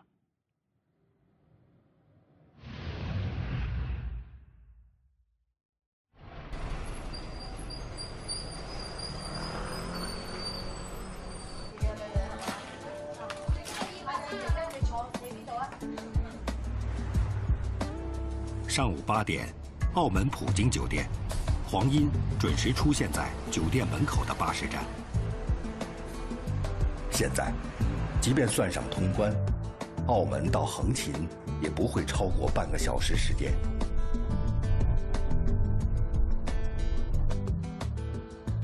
我是在澳门蛋仔长大的，那目前呢，我也来到了横琴，创立了自己的公司。横琴。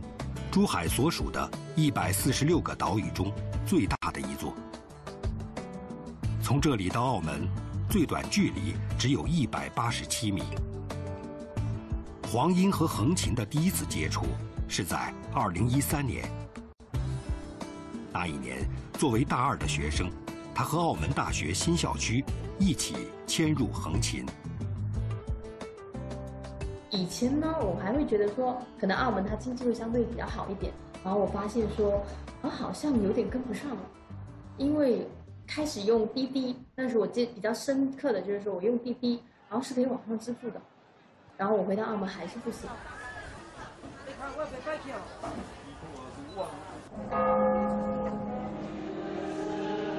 澳门，东西方贸易最早的枢纽之一。随着香港作为世界金融中心、航运中心的崛起，澳门的地位逐渐衰落。虽然靠着旅游和博彩业，澳门维持了繁荣，但是博彩业一枝独大，也让黄英这样的年轻人不得不为未来感到担忧。大学时，黄英学的是 IT。这个全球最热门的专业，在澳门却没有大受追捧。澳门最稳定、收入最高的职业，首先是公务员，其次是荷官。具有两年资历的软件工程师，平均月薪只有荷官、公务员的三分之一。像黄英这样对未来感到担忧的年轻人，在大湾区不止一个人。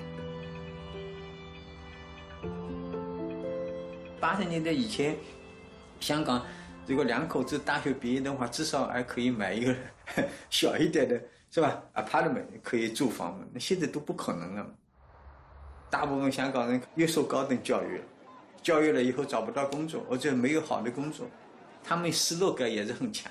其实香港人很早已经知道，呃，香港这个呃经济基础啊不够稳固，产业基础呃比较狭隘，呃不是没没有疑问，而是没有足够危机感，也没有足够这个来自政府的动力来推动香港这个。一些经济改革。二零二一年，足够的动力摆在了渴望改变的大湾区年轻人面前。九月五日，中共中央、国务院正式公布横琴粤澳深度合作区建设总体方案。一百零六平方千米的横琴岛被确定为粤澳深度合作的新载体。一天之后，根据全面深化前海深港现代服务业合作区改革方案，一百二十平方千米的深圳海岸线升级为探索大湾区未来的新平台。横琴的方案啊，其实是希望能够帮助澳门解决一些具体问题。我们都知道，澳门因为搞博彩业，但是由于博彩业这个太单一。所以一旦出问题，那很多青年人就可能会觉得个人发展前途上可能会就出出现问题。因为香港和澳门都是比较小的城市经济体嘛，它的经济发展它主要有服务业，它必须要有腹地。首先第一个就是拓展港澳经济发展的腹地。你举个例子，大疆是吧？王涛先生是在香港，我当时他也想在香港创业，看来看去说搞产业在香港不行，没有产业链。最后，在深圳呢，产业链非常完备，所以在很短的时间成了一个全球不仅是技术领先、性价比好、占市场份额到百分之八十的这么一个高技术的新兴企业。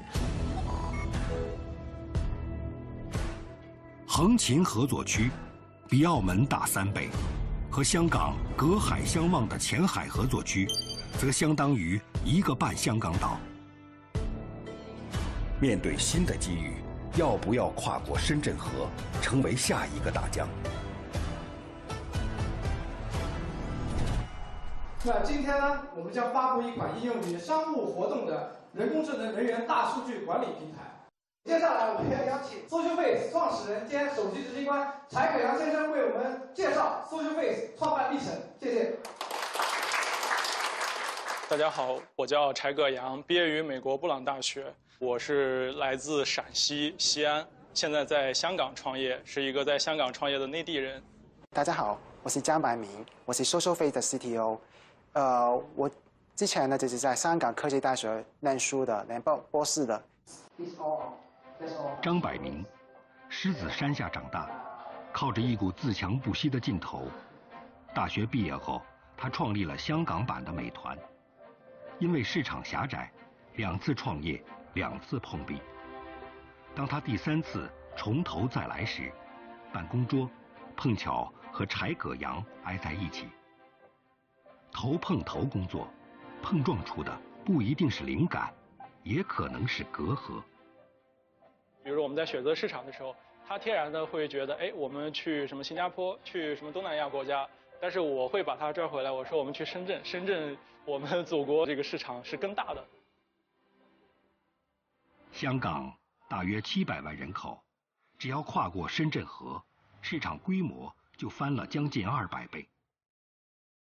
这样简单的乘法，为什么会让张百明这个计算机博士感到犯难呢？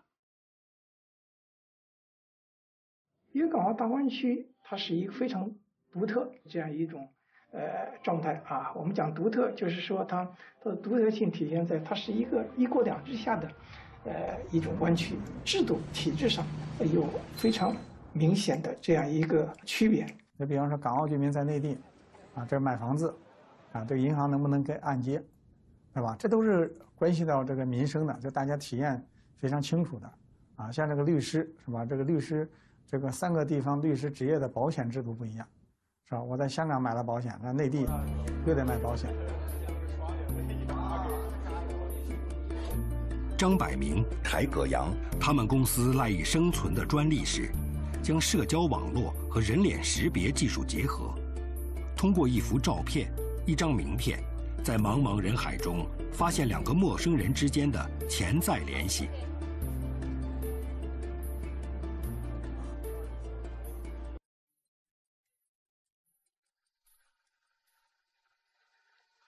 跨过深圳河，张百鸣、柴葛阳原来的网络将换成朋友圈。切换之后，公司能适应吗？张百鸣、柴葛阳的担忧，揭开了城市的另一面。城市不仅仅是道路、楼群、建筑，还是各种制度、规则、社交网络的集合体。经济上的朋友圈叫做市场，邻里间的微信群放大就是社会。如果把城市看作一个人，这些制度、规则、网络就相当于人体的神经和血管，哪怕血压、梗阻稍大，都会对人们的生活造成影响。香港和内地的税收有一定的差别，过去。港澳居民没有办法在珠三角交纳社保，如何减少差别，破除梗阻呢？财政部税总啊就发文，那香港个税低啊百分之十五，那当时就允许呢，就是说地方自费改革，就是说你引进这个人才，如果他这个应交的个税是吧，按照国内比方说是百分之二十二十几，你给他十五，那个差数。地方财政府要推动人流、物流、资金流、信息流的便捷流动，要进行资质互认，比如说你的医生资质向我认可了，那么你就可以到我这儿来执业；你的教师资质我们认可、相互认可了，你就可以到我这儿来执业。根据粤港澳大湾区发展规划纲要的这个呃设计，知识产权保护的问题、社会保障的问题、社会治理的问题、环境保护的这个问题。那么这个创新创业的这个政策保障的问题，这个港澳跟内地谁的标准好，谁的制度好就用谁的。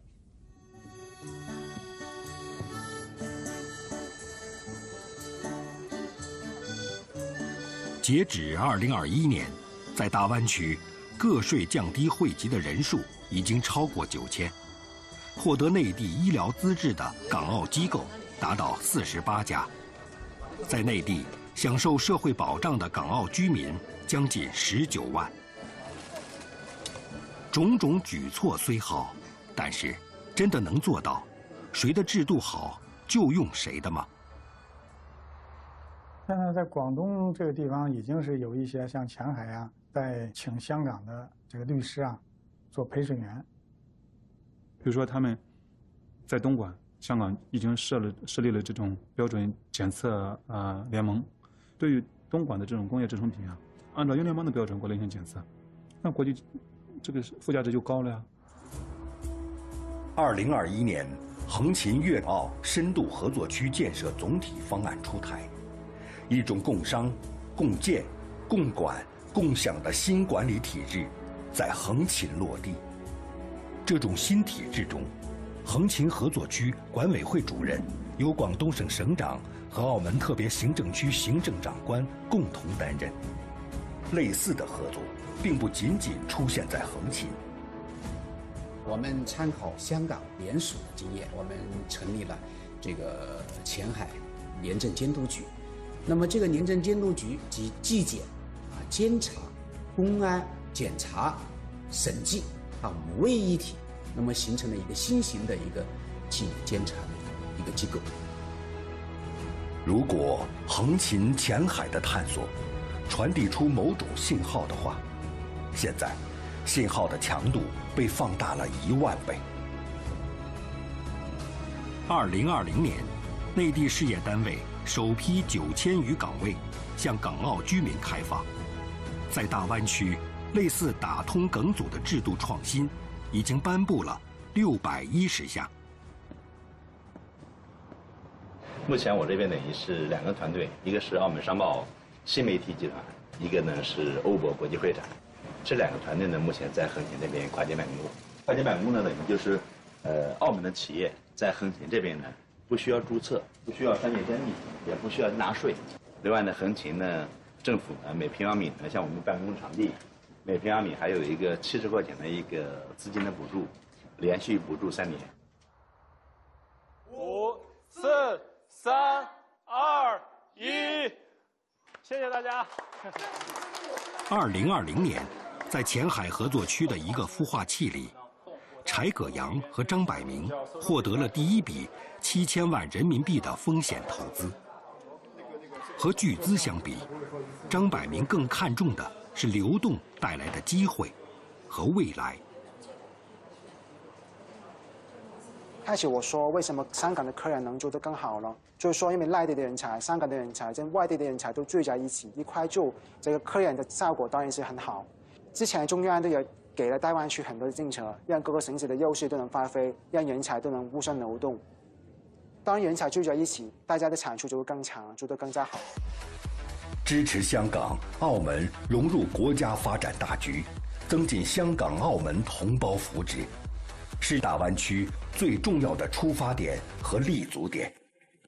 今天，在珠三角九市中，港澳青年的创业基地已经建成十二个。在这里，已经孵化了七百六十五个张百明、柴可阳这样的成功案例。通过刷脸、刷身份证就能通关的新口岸，黄英从澳门来到横琴。现在的横琴让黄英越来越有回家的感觉。当大湾区变得越来越像一座城时，像黄英这样。每天往返两至的人流渐成钟摆。现在，珠三角在港澳就读的中小学生超过九万，从港澳来到珠三角的大学生也有一点四万人。如果再算上一万四千家港资、澳资公司，中百也许很快就会变成潮汐。那在横琴的话，有一部分人呢。是会想说，等它发展好，我再过来。但是我觉得这是一个机遇，因为它还没不完全完善的时候，证明我还是有机会的。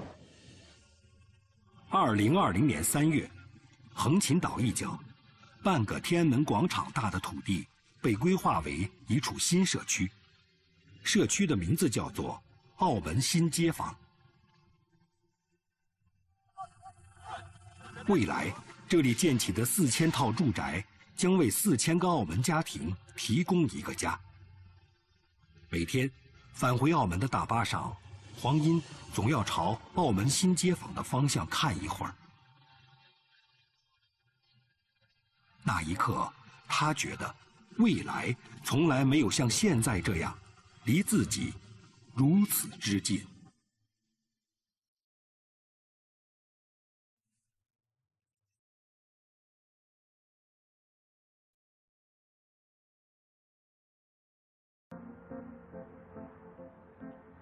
如果流动是城市的活力所在，那么詹俊霄已经生活在一个充满活力的城市中。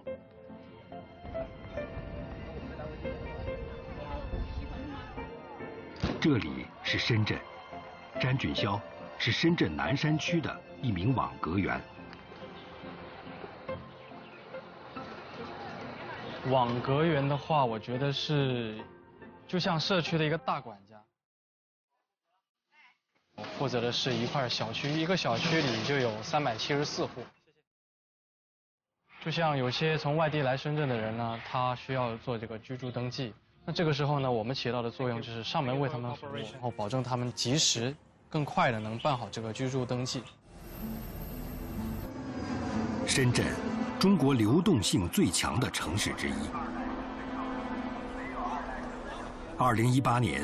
深圳的户籍人口大约四百五十万，而流动人口则超过八百万。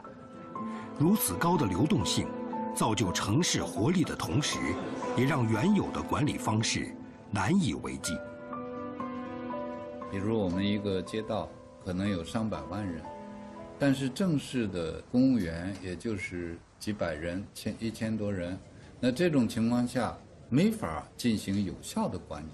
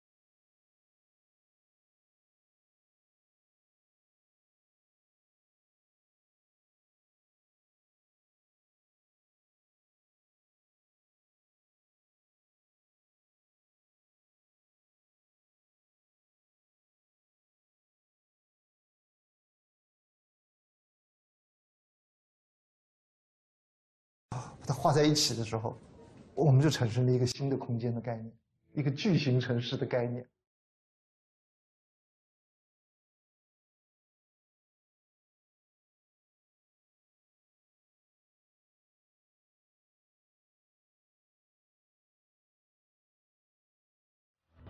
网络，二十世纪人类最重要的发明，它改变了人们的生产、消费、社交方式之后，也必然对生产、消费、社交的场所、城市造成影响。网络时代，信号取代了城墙，哪里有信号，城市的边界就可以在哪里。网络时代。WiFi 消除了城乡，只要在稻田里竖起几座基站，广阔的区域也能连成一体。当城市变得界限模糊，人流、物流、资金流、信息流又不舍昼夜、穿梭不停时，这样的城市该如何管理呢？深圳的方法是将城市数字化。这个二维码呢，首先我们就是可以用手机扫一下，它上面会体现几个信息，一个是地址，还有一个一串编码，那个编码就相当于这个房屋的身份证。那从这个编码呢，的它的用途呢，可以我们有小学入学的一些办理，同时呢，居住在这儿的人员呢，也可以通过这个扫描二维码到这个网上去申报这个居住信息。那通过这个居住信息申报以后，你就不用再跑到居委会或者跑到哪里去去人工办理了。深圳是中国的网络策源地之一。过去十多年，这里诞生了中国第一组快递柜、第一个微信群、第一次移动支付、第一批快递小哥。作为未来的样板，让它敢于颠覆传统，让城市率先从一个地方。变成一张网，通过扫码，城市的管理对象就从钢筋水泥的楼群、密如蛛网的街道、川流不息的人流车流，变成硬盘中的数据。数字化的城市，哪怕有限的人力也能进行管理。基于这种设想，深圳。通过一万五千个网格重构了城市。随着城市变成网络，网格员的职责也从网管变成了小二。网格员就变成一个类似于我们说的像银行的柜员似的。呃，罐子的是罐子，金属的是金属，然后那个杂志，然后写的那种纸都可以的。牛奶盒儿对，牛奶盒儿还得。像在像在在在日本的话呢，它是它是把它洗干净的，也就是把所有的我们管理的这些要素都放在这个一个平台上，比如说社工机构、呃养老服务机构、心灵幺幺九，那这些方面的一些专业机构，那我用手机的 APP，我就随时得到这个网格上的提供的各种各样的这种服务。把城市从一个地方变成能拿在手里的 APP，改变的不仅是城市的形态，还有城与城之间的距离。深圳到广州有多远？在天河二号的认知中，只有零点零一秒。广州番禺大学城。天河二号的母体，中国国家超级计算广州中心，就栖身于这里的一栋六层建筑中。从天河一号开始呢，我们就拿到了世界超算五百强的这个呃第一位，天河二号呢更是连续六次获得世界这个超算排行榜的第一，这个记录啊到现在还没有呃其他国家的系统来打破。目前，全球五百台算得最快的超级计算机，二百一十九台在中国。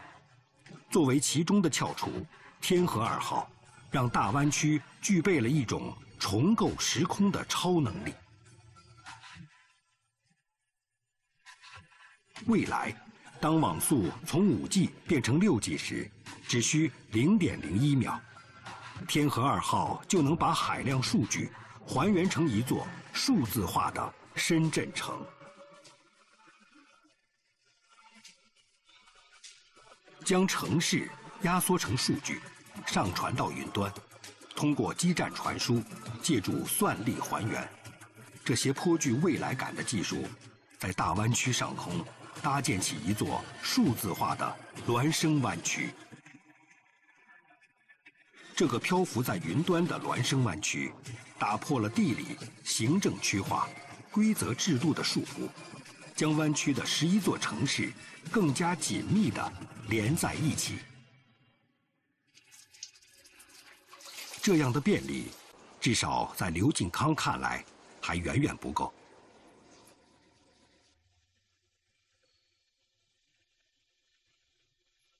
刘敬康，九零后，南京大学毕业之后来深圳创业。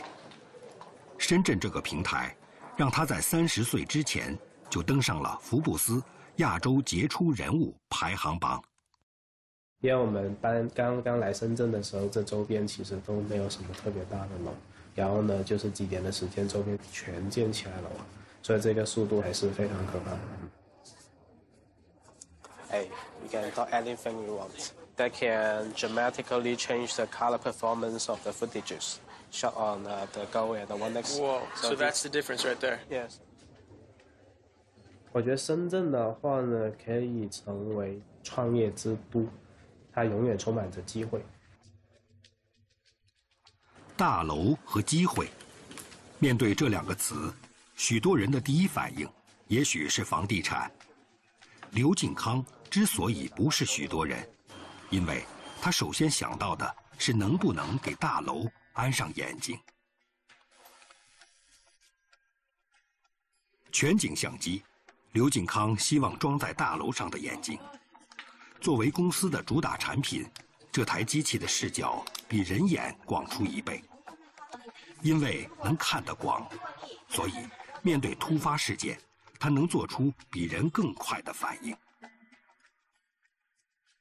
比如说我们现在往这个把这个执法自由本把它变成全景的，它还可以具备自己的意识，它可以把周边看到的人脸全部都识别出来，哪些是可能是在逃的嫌疑犯，那就可以去通知到这个民警，在你的两点钟方向可能有一个嫌疑的。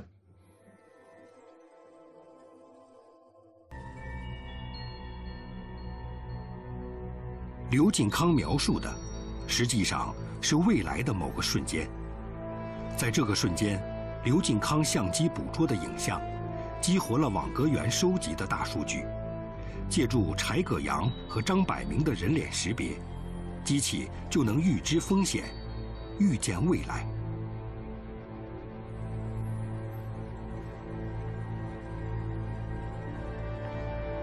预见未来，人类的终极梦想。如果能提前知道下一分、下一秒发生什么，那么撞车就不会再发生，拥堵就可以缓解。电力短缺前已经事先做好调度，犯罪还没有发生，已经提前被预防。这些科幻电影中的场景，在大湾区是数十万发明家、工程师过去十多年的工作。这些在广州、深圳、香港、澳门进行的尝试，不久将汇聚成一张完整的拼图。拼图的名字叫“智慧城市”。让城市具备智慧，这项改变未来的技术，实际上已经潜移默化地根植在我们的生活之中。我们现在常常在网上购物，这一个啊、呃网站它就会推送一些，它会主动的询问你是否要买某些商品。这个背后的这种简单的这一个动作呢，其实就是由数据来驱动的。它有什么数据来驱动呢？有你过去的消费的方式，有你跟你相同的社会经济背景的人的消费的方式来驱动的。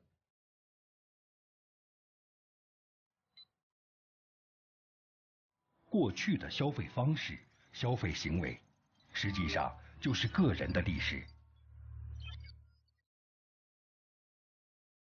当个人的历史、过往的衣食住行，甚至每个人的社会背景、人际关系，都成为驱动未来智慧城市的力量时，靠什么把这些东西整合在一起呢？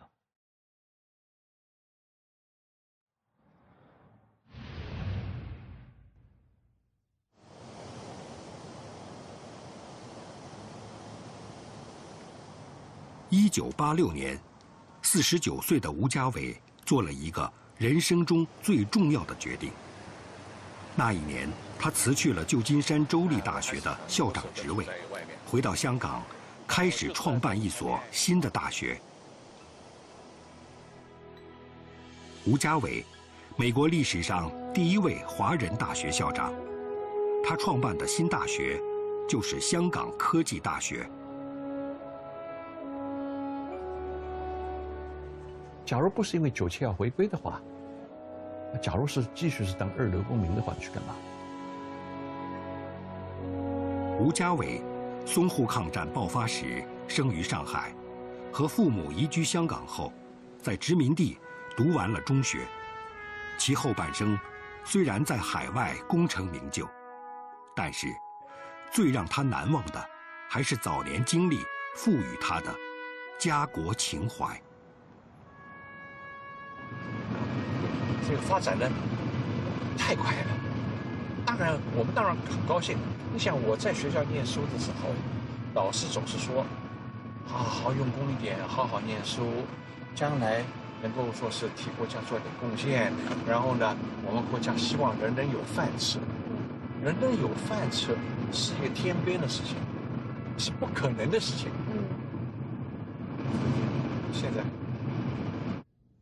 你这儿有一个杯子，我这个杯子什么东西啊？哦，培正中学的，哎，香港培正中学的。啊，对啊。培正中学有一百三十年，今年一百三十周年的历史，是广州开始的，然后在香港跟澳门办了。呃，虽然只有大概，我想只有七八十年吧。你看，就是粤港澳了，啊，呃，我之所以会有有一种民族的呃情结情怀。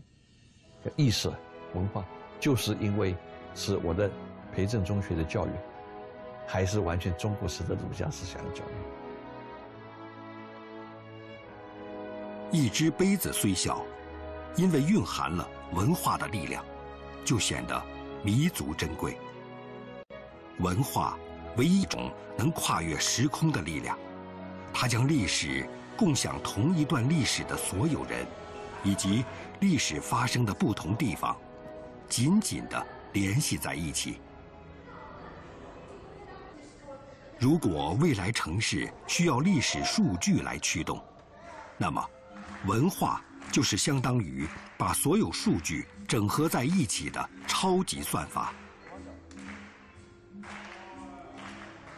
在粤港澳大湾区发展规划纲要中，共建人文湾区被列为。重要的一节，它不仅为未来奠定基础，更重要的是，它赋予大湾区灵魂，让每个来到城市的人们有归属感。香港科技大学创办于回归前夕，此时因为前途不明朗，一些人选择了离开。这种情况下，在海外招募创校人才的吴家伟，要想劝说有可能获得诺贝尔奖的学者放弃多年的研究，投入一项前途未卜的事业，他只能靠文化归属感来打动别人，也说服自己。就有人问了，说你看像中国现在情况。还该回去吗？就有一个教授，大概那个院长，他他记得，我就不记。他说我一路在流眼泪，一路就说，现在更是需要了。假如样样东西都是完全上轨道的话，多。你一个不多，少你一个不少。香港科技大学，一所情怀催生的大学。二零二一年，在全球前一百所大学中，它排名三十四。香港科技大学的这段历史，不仅生动地诠释了文化和科技的因果关系，更重要的是，它也提示出文化对未来的推动力。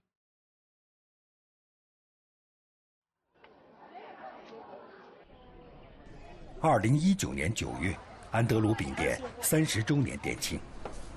一大早，师队就换好行头，准备采青。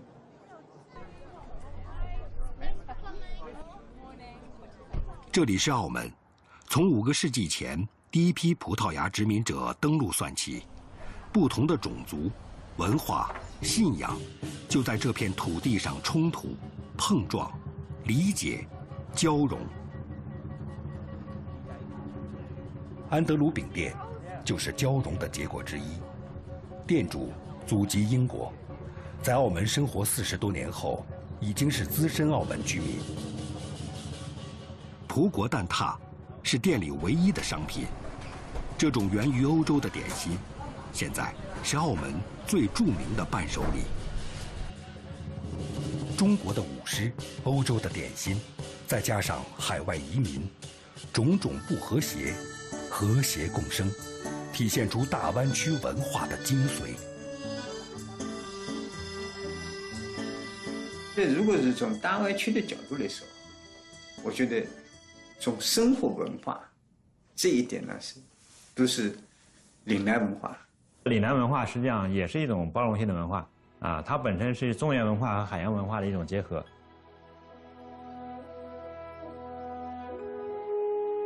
吃饱。穿暖，住得舒服，出入平安，对任何人来说，应该都是基本需求。这些需求并不会因为讲不同的话、信不同的神而改变。所以，以生活为素材的文化，更容易跨越族群，穿透信仰，在不同的人群中求同存异。跨越不同文化。借鉴不同社会形态、经济规则、治理模式，为新时代改革开放再出发，探索新的路径，是粤港澳大湾区的担当和使命。二零一九年，大湾区的核心城市深圳，被确定为中国特色社会主义先行示范区。示范区的目标，就是创建社会主义现代化强国的城市范例。深圳为什么比其他的城市更有生命力呢？大家就要问，因为确实深圳从一开始就是一种创新，就是容纳了港澳台这些有些体制的优势。它是中国共产党建党以来独立自主建设的一座国际化城市。我们要验证我们党不仅有能力领导物质建设，有能力领导。有中国特色社会主义的经济建设，也要有能力领导先进制度体系。The next stage of China's development was to uh, to move beyond just uh, the economic and begin uh, to uh, for China to begin to think, see itself uh, as a political power, political influence in the world, uh, cultural influence, um, ethical, moral. China becomes, you know, a leader. So actually, the President Xi Jinping and the leadership of China has all the reasons to further support the drastic and rapid development of the Bay Area because it is giving an example to the world. 当人类越来越命运与共，不同的族群、信仰、文化必须学会和谐共生时，打破壁垒，跨越障碍。营造新的城市形态，是全球城市共同面对的挑战。一个生态的湾区，一个充满活力的湾区，一个因为包容，让所有人都能产生归属感的湾区。在粤港澳大湾区发展规划纲要中，被称为宜居、宜业、宜游的优质生活圈。民生福祉，大湾区建设的出发点和落脚点，让人民拥有更好的生活，不论中外，应该都是世界级城市群唯一的标杆。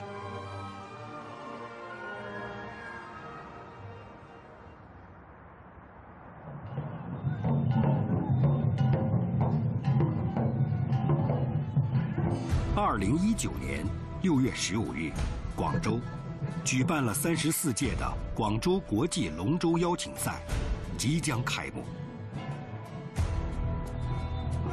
来自大湾区十一座城市的一百二十四支龙舟队，平日里散落在各行各业、不同网格中的两千五百名选手，将在这一刻一同踏进珠江。二十二人龙舟六百米直道赛预赛，借助工具挑战风浪，跨越天险。扒龙舟这样的活动，在大湾区已经持续了千年。